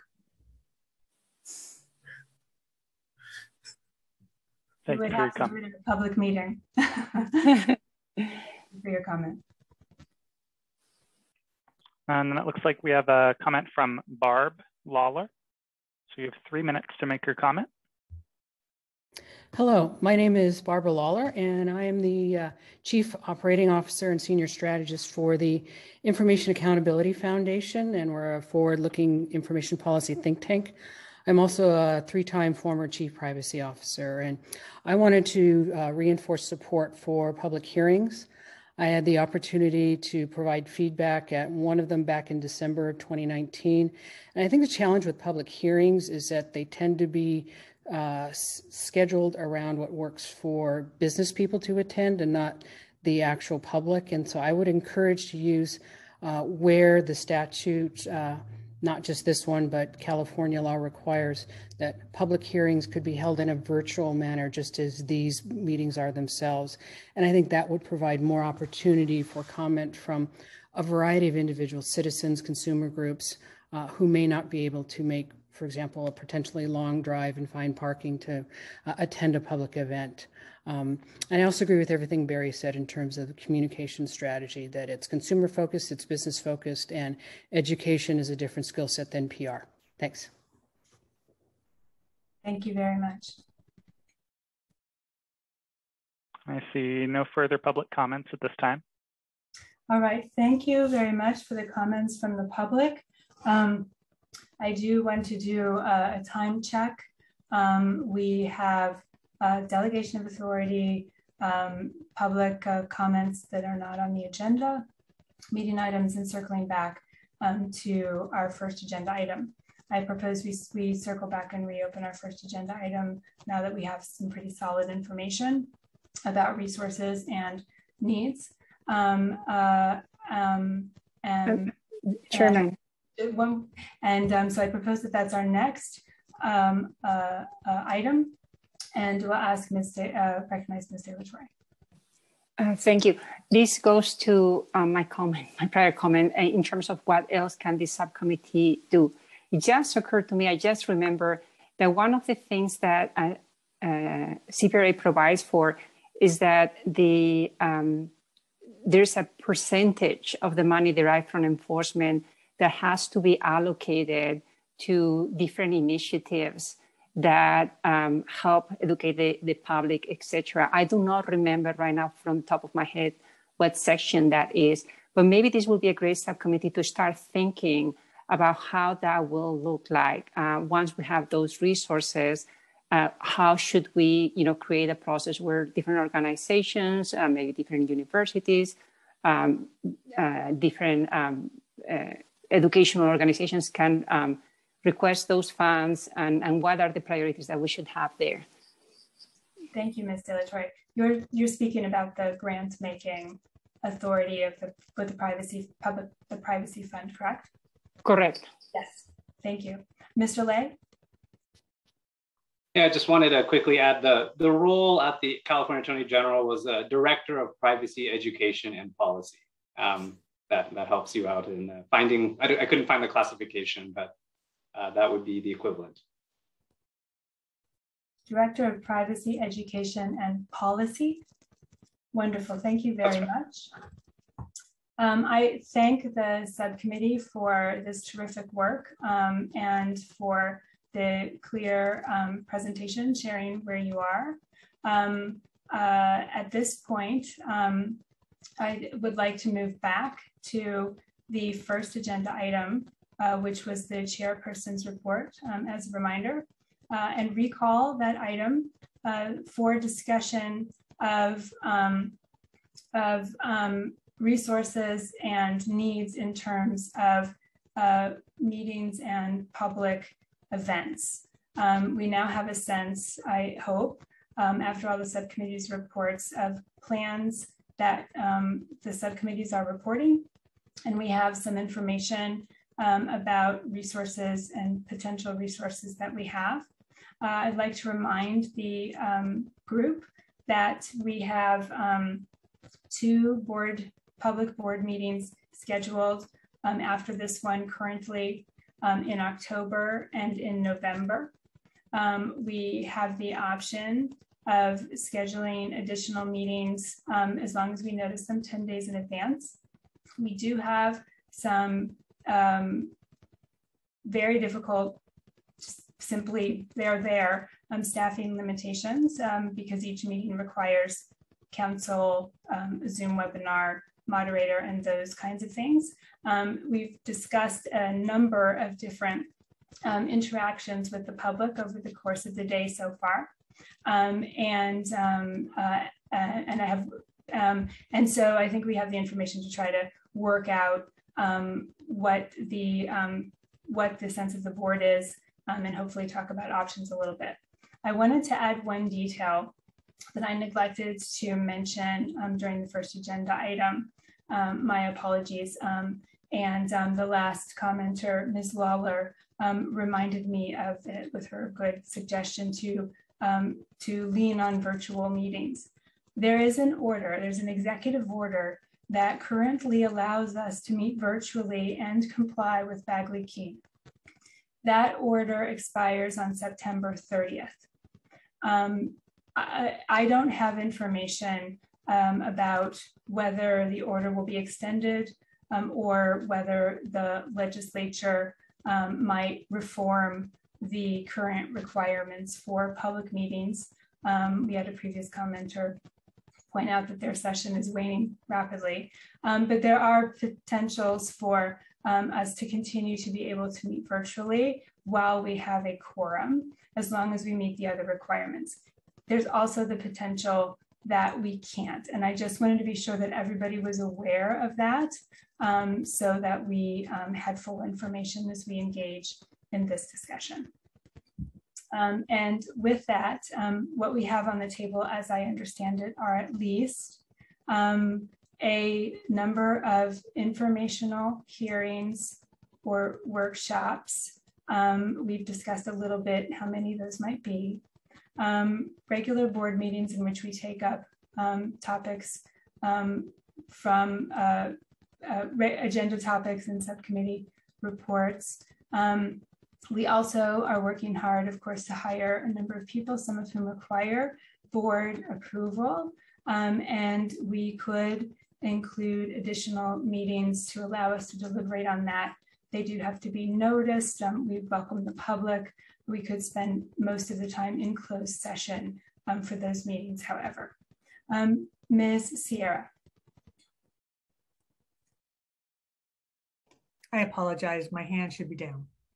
Oh, okay. Thank you, Ms. Sierra. Um, other comment? Yes, uh, Ms. De La Torre. Thank you. I am I'm very concerned about the fact that in the last six months, we have been able to meet only twice. And I do want to, first of all, acknowledge and appreciate the efforts that the chair has made to get us to meet these two times. Um, all of the work that is on her shoulders, the the the um, limitation in terms of resources, but I do believe that even if we commit to meet monthly moving forward, we're going to put ourselves in a situation where we will not be able to meet deadlines.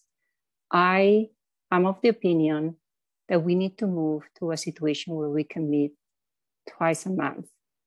I also would like to discuss how we can support um, the efforts that the chair has been um, making to enable us to have the staff um, to hold a meeting. Um, I'm not sure to what degree the leadership of um, the agency that houses us is, is aware of those constraints and really of the importance of us being able to meet. Um, we have a mandate from the California voters, millions of people voted to enact um, uh, CPRA and to create this board. And um, we, we have a commitment to them that we have to uphold. So two things. One is I, I would like to have us agree to meet twice a month. I understand that we already have meetings in October and November that are set. I wouldn't want to disrupt those. We already have secure um, staff for them. But moving forward, I think it will be helpful for us to make a permanent commitment to say we're going to meet on the second and third Tuesday or, of the month or whatever dates we decide, so that those can be just reserved for us in terms of our time, but also the public will be aware that we will be meeting. I'm not um, I know that these meetings will have to be allocated to all of the different um, priorities that the chair just highlighted. It's not only public meetings, they can be informational meetings. There are some of those meetings that might have to be behind closed doors so that we can conduct interviews. Uh, but again, my main concern is that unless we radically change the cadence of the meetings, it's not going to be possible for us to, to deliver on, on our commitment. In terms of um, providing support for the efforts of the chair, um, I think that we, we should be able to perhaps reach out to our appointing authorities and, and bring to their attention um, if we have difficulty securing the personnel that we need, um, that fact so that they can perhaps provide support. Um, that's just an idea. I am open um, to suggestions that other members might have. But this is a really, really important thing. It is basic. It is basic for the board to be able to function that we need to meet. And I do not think that our prior commitment to meet monthly is going to be sufficient given that we haven't met since uh, we basically have skipped two meetings. Thank you, Ms. De La Torre. Um, if, if you don't mind, I'll paraphrase to be sure that I understand. Um, um, your proposal um, is that the board commit to meeting um, twice a month, um, starting uh, starting soon. We can we can we can we can talk. Maybe maybe December, given that we have two months where we already have something scheduled, and with the understanding that you know if if there is a possibility to fit another meeting within the October November framework, we we might want to try for that. Um, but definitely starting in December. Thank you. Um, that that's helpful. Um, and um, and this would be for the board to use for meetings like this, um, closed session for hiring and informational hearings. And if I'm when I'm working that out and listening, I think that um, we may need more um, if we're going to do some informational right. hearings. Okay, thank you, Ms. De La Torre. I'd like to open it up for board comments.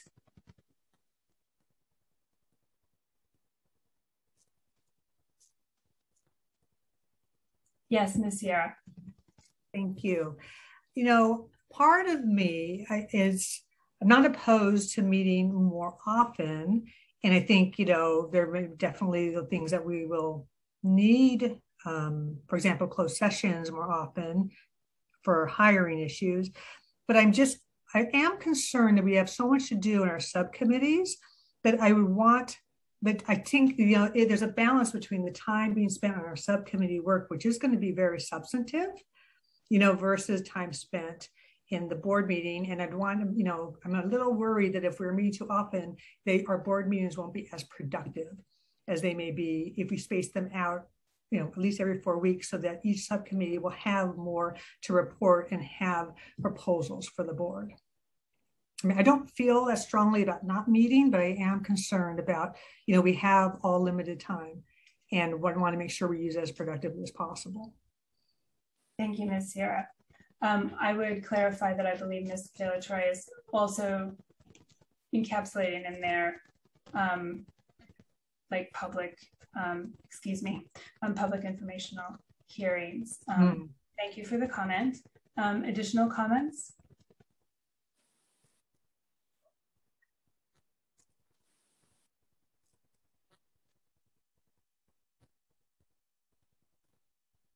Yes, Mr. Le, uh, followed by Mr. Thompson.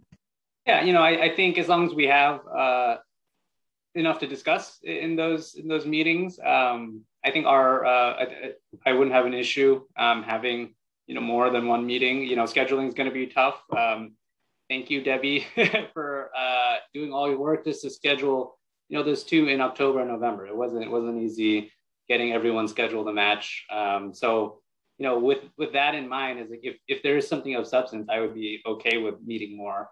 Um, but uh, to to Ms. Sierra's point, you know, I think a lot of the work's is going to transition to this uh, subcommittee, and um, perhaps that's the better outlet for our time. Thank you, Mr. Le. Mr. Thompson? Um, I would agree with with Vinhcent's comments that if, if we have things to meet on, I'm happy to meet more frequently. I think we need to front load our our level of effort, which I think is implied in what what um, Ms. De La Torre's comments are. Uh, you know, we've all talked about the deadlines we're up against. I, I would caution us against supplanting staff resources with our own time. And we're not this, we're not meant to be the staff of the agency. We just are somewhat. Uh, I think we're we are taking over a little bit of those functions in because we don't have folks on board. So whatever we can do to more quickly bring whatever resources we can on board to do things faster, other than through our own efforts, um, I, I, think would be time extremely well spent. So how how we can do that, how I can contribute to that, how the rest of us can contribute to that. Uh, I know that there's a lot of work that's been going on by the chairperson, by the staff that we have on loan from agencies that are thank you for for doing what, what you're doing. I'd meant to ask you you'd sent you made mention of having sent a formal request to the attorney general for staff resources, um, what form that that request took, because I, I think we need to get more people of many different types as fast as we possibly can. And the best kind of people we can probably get are the ones who've worked on this before. Um, but if, if it's not them, then I think we need to identify what our second and third preference types of resources are, because just, we just don't have enough people, uh, uh, even with all of us. Um, and meeting twice as frequently, I don't think is going to make up for, you know, tens of people that we we ideally should have on board um, as soon as possible.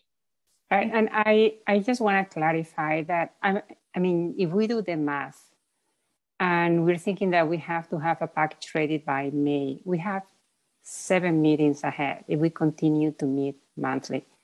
And I do not see the meetings as something that will subtract from the subcommittee work. I think it's something that it will add to the subcommittee work.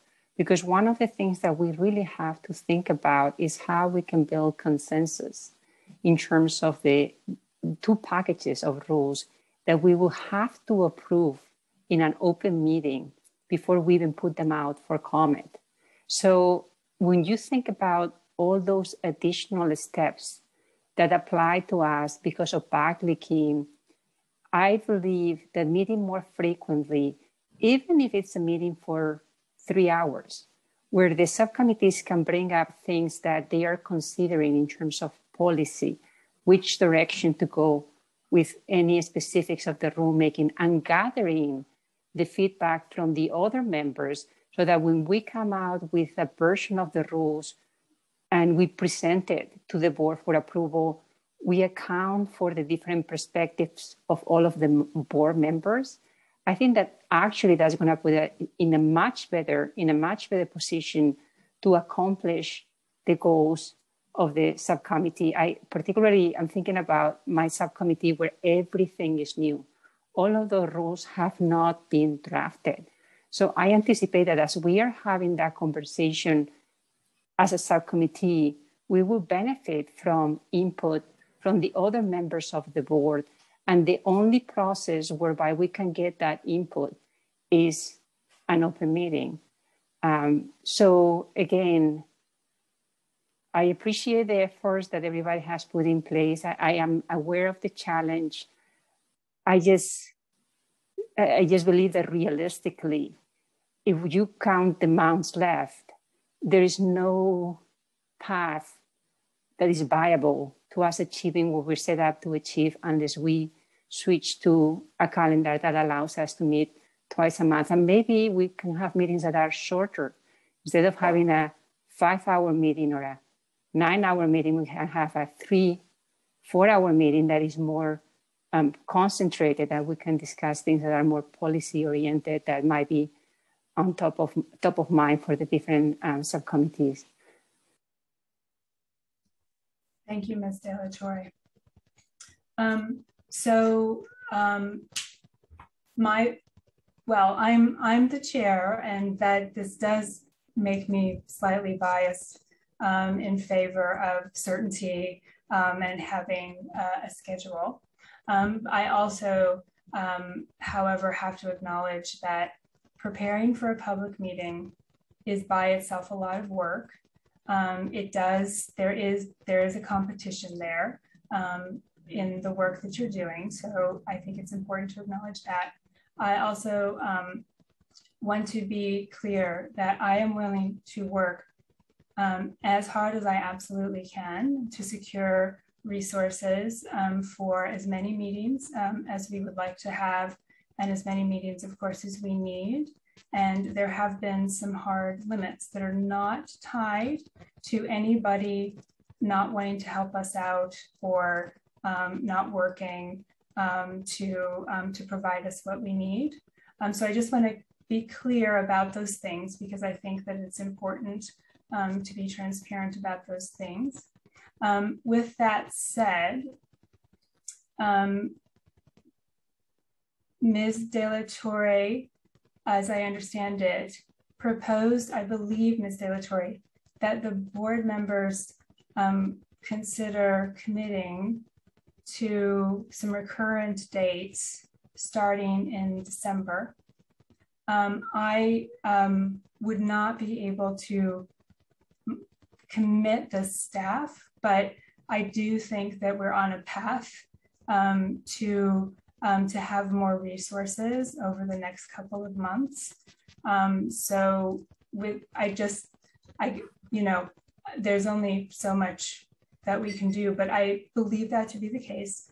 Um, and so I think what the question is the sense of the board on um, changing our recurrent meeting schedule and commitment starting in December um, to two times a month. And I believe, Ms. De La Torre, you were suggesting some concrete options, perhaps just um, in order to go ahead right. and provide those. My, my original suggestion was to just, since we are on a Tuesday, just to agree on the first and third Tuesday of the month with the understanding that we can change that in a meeting. So when we come back in October 18, if there is any reason why any particular, um, you know, first or third Tuesday is not viable, uh, we, we can discuss changing that.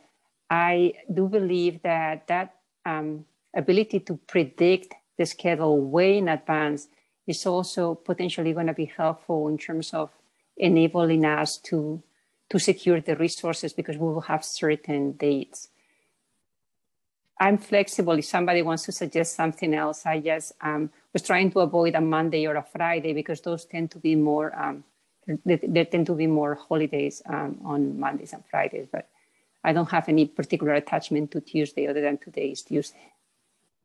Thank you, Ms. De. Um, I, I, would need to check my calendar, um, but the um, the thought of having a um, some sort of set um, expectations um, that we can go to. I apologize that we can go to staff with and maybe come back um, and revise the dates, not necessarily the frequency if we need to, um, uh, is um, uh, I, I generally support the idea. Um, I also hear what board members are saying, and I do realize that we have been asking you to do a lot.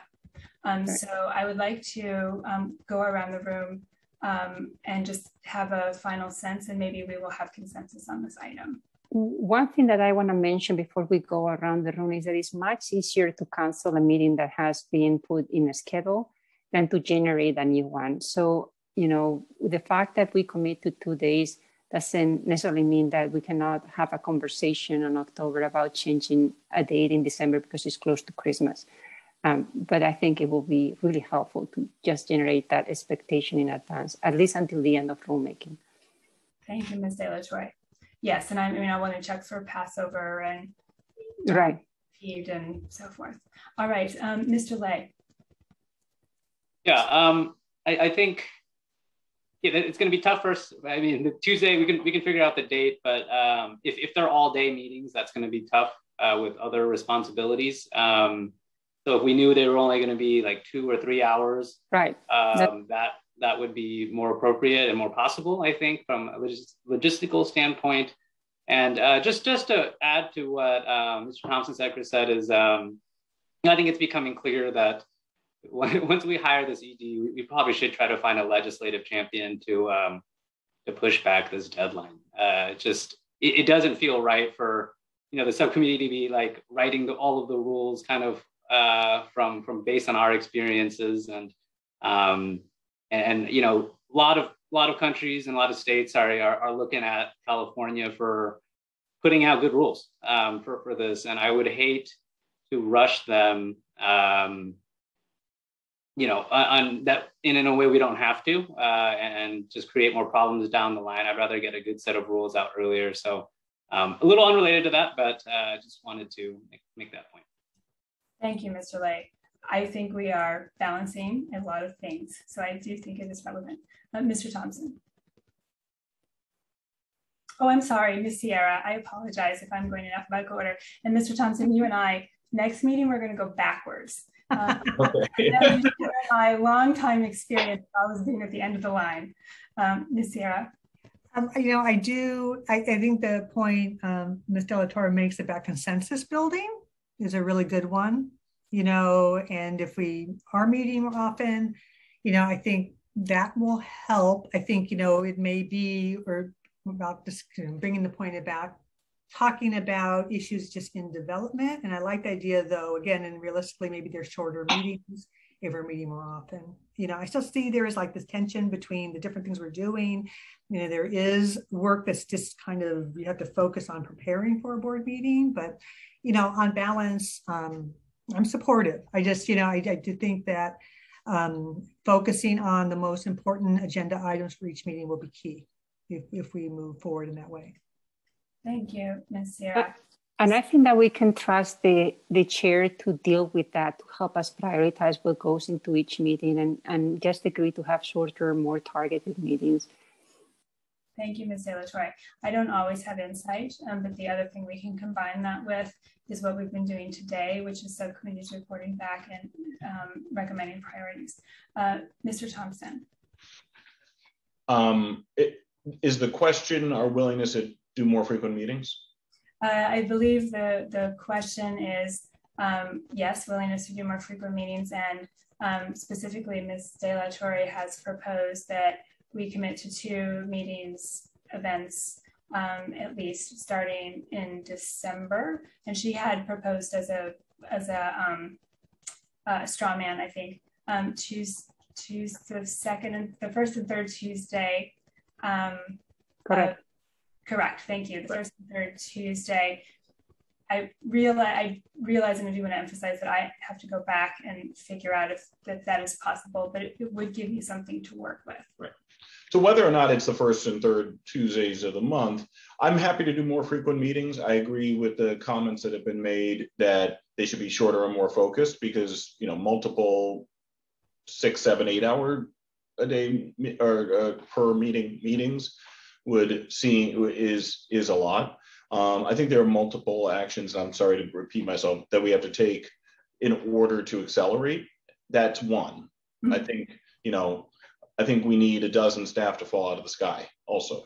Um, and how we can make that happen.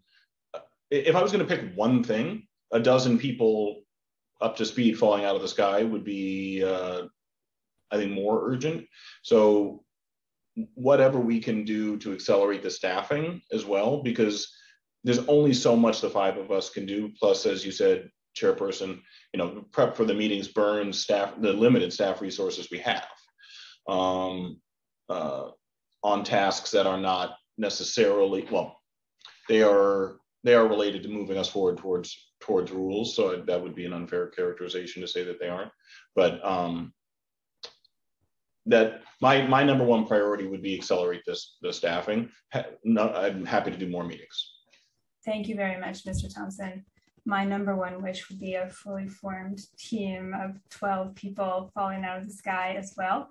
Um, and I hear um, and acknowledge and agree with your points that continuing to push um, in every direction um, to develop a team uh, is, is a priority.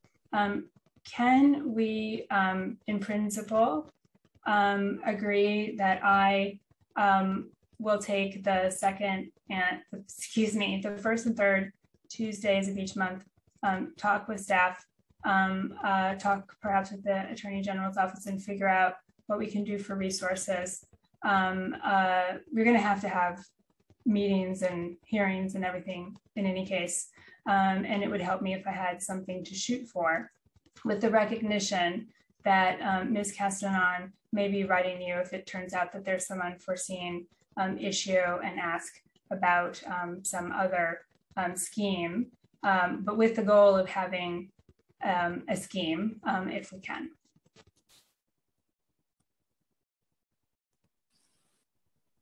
I, I support that.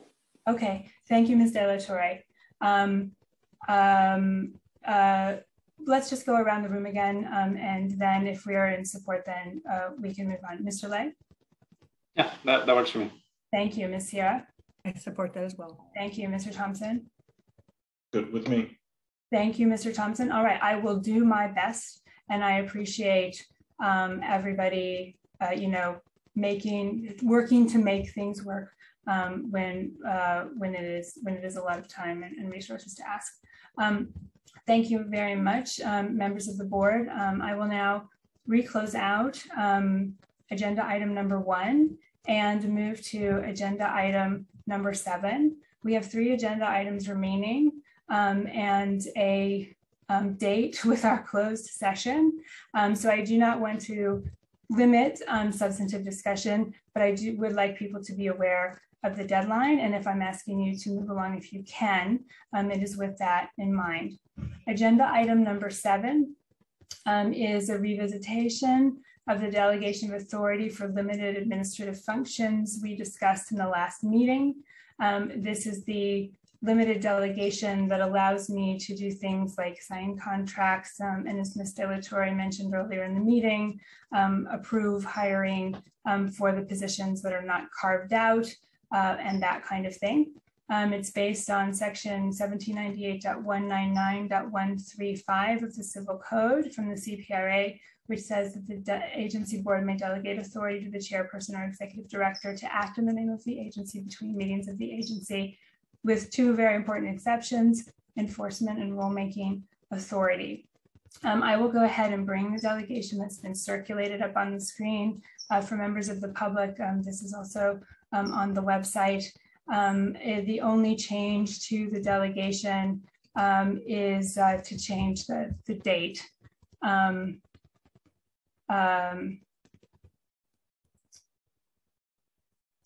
please bear with me for one second. I've shared a lot of documents today.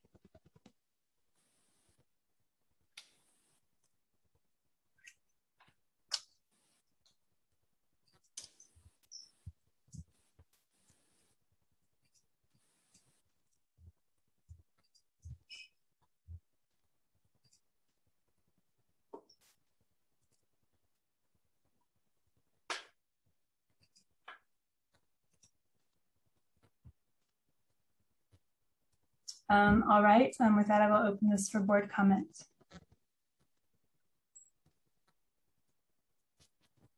I've read it. I think it's good. I'm ready to move its adoption. Thank you, Mr. Thompson. Uh, boy, um, Mr. Le and Ms. Latoya happened at the same time. Um, Ms. Mr. Mr. Le. Oh yeah, just uh, I thought we were going to make a motion, but yeah, I'm I'm fine with extending the day. Thank you, Mr. Le. Ms. De La Torre. I am fine as well. I will suggest that if we're meeting in the next month, we need to consider how we're going to transfer this delegation to the executive director at, at that point. I also think that we might want to consider the idea of delegating uh, authority to a vice chair to support the work that the chair is doing. We don't have time to discuss that today. Perhaps that's something that we can um, discuss in our next meeting. Thank you, Ms. De La Torre.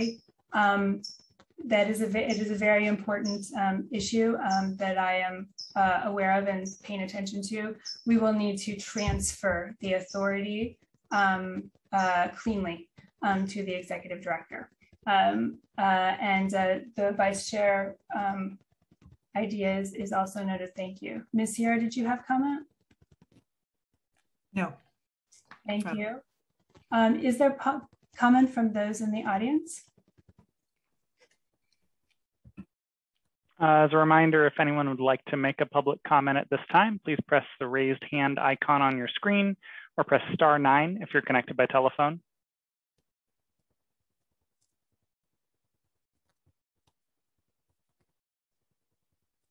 I am not seeing any public comments on this item. Thank you. Um, thank you, um, Mr. Joseph Pinero. Um, may I have a motion to approve the delegation of authority um, as reviewed for this meeting, which starts from this meeting to goes to the next meeting um, with the carve outs that we decided upon last time? I also move. I'll Thank second. You. Thank you, Ms. Sierra. Ms. Sierra moves. Thank you, Mr. Le. Mr. Le seconds. Mr. Joseph Pinero, would you please call the roll call vote? Certainly. Uh, Ms. De La Torre? Aye. Ms. De La Torre, aye. Mr. Le? Aye. Mr. Le, aye. Ms. Sierra? Aye. Ms. Sierra, aye. Mr. Thompson? Aye. Mr. Thompson, aye. And Chairperson Urban? Aye. Chairperson Urban, aye. The vote is 5-0. Thank you, Mr. Joseph Pinero. The motion carries. Uh, and we will um, operate under this delegation of authority until the next meeting. Um, we will be um, sure to have a plan for clean um, transfer of delegation of authority to the executive director. Um, and I will take under advisement the vice chair um, and uh, uh, and um, and and uh, consider and research that. Uh, thank you to the board for uh, for carefully considering and efficiently um, uh, working on, and excuse me, it has been a long day. I do apologize. I've been talking a lot. Um, I will start over. Um, thank you to the board for carefully considering and efficiently disposing of this item. We will now move on to agenda item number eight, public comments on items not on the agenda. Um, this is an opportunity for public comment um, for any item, not those, not just those that are on the agenda. Before we proceed with public comment, please note that the only action the board can take on these items is to listen to comments and consider whether it will discuss the topic at a future meeting. No other action may be taken on the item at the meeting. Though this may seem at times like the board members are not being responsive, these following these guidelines is critical to ensure that the rules of the Bagley-Keene Open Meeting Act are followed and to avoid compromising either the commenter's goals or the board's mission. Um, and with that, Mr. Joseph Pinero, is there any public comment? Uh, thank you, Chairperson. Uh, so it looks like we have one comment initially. As a reminder for anyone else who'd like to make a public comment on this item, please press the raised hand on your screen or press star nine if you're connected by telephone. So our first comment is Ray Kitty. Uh, you have three minutes to make your comment. Hello. Um, I just wanted to um, sunshine my concern for uh, privacy rights of previously incarcerated people. I think this uh, is a, something that deserves some attention. For example, um, somebody who is in jail but not convicted of a crime, there is a lot of information out on public websites. I can point you Sutter County Sheriff, Alpine County, every, you know, all, all these counties share a lot of information. Information scrapers scoop that up and it's out there forever. Plus, when people, um, when their uh, crimes are um, uh, expunged, you know, we expunged all marijuana convictions and things like that. What happens to the data that is now held by the data vendors? They got it a year ago, two years ago. Do they get rid of that data now that that crime's been expunged? I don't think they do. And so I just wanted to highlight that as an issue. Thank you. Cheers. Thank you. Mr. Joseph Pinero, are there further public comments? Uh, there are no further public comments at this time. Oh, sorry. A hand came up as I was saying that. Uh, we have a comment from Barry Weber. I actually have a, a question that may require putting something on a future agenda. So as I understand it, the, uh, the employee exemption is, is due to expire on uh, January 1st, 2023. And I would assume that if that occurs, then it's covered by one of the regulation subcommittees that's dealing with what already exists in CCPA. Um, if that's not clear, or if the um, agency has the ability to itself um, um, extend the employee exemption, it's not clear to me. And I'm just looking for either an understanding of that or possibly adding something to the next agenda. Thank you, Mr. Weber. Mr. Phillips, is it proper to um, clarify where that is with the subcommittees?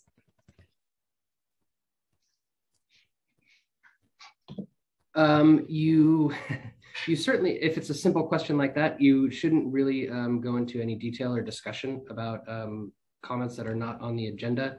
Um, if it's like a one subcommittee uh, answer, I don't think that's a big deal. But um, but yes, be careful about discussing things not on the agenda. Thank you, Mr. Phillips. This was an agendized item earlier in the day. I would simply um, refer Mr. Weber to the presentation from the Regulations Subcommittee. Uh, if you go to the supplemental materials, um, you will see which subcommittee that issue rests with. Mr. Joseph Pinero, um, are there any additional public comments? I'm not seeing any at this moment, but I'll give just a couple more seconds.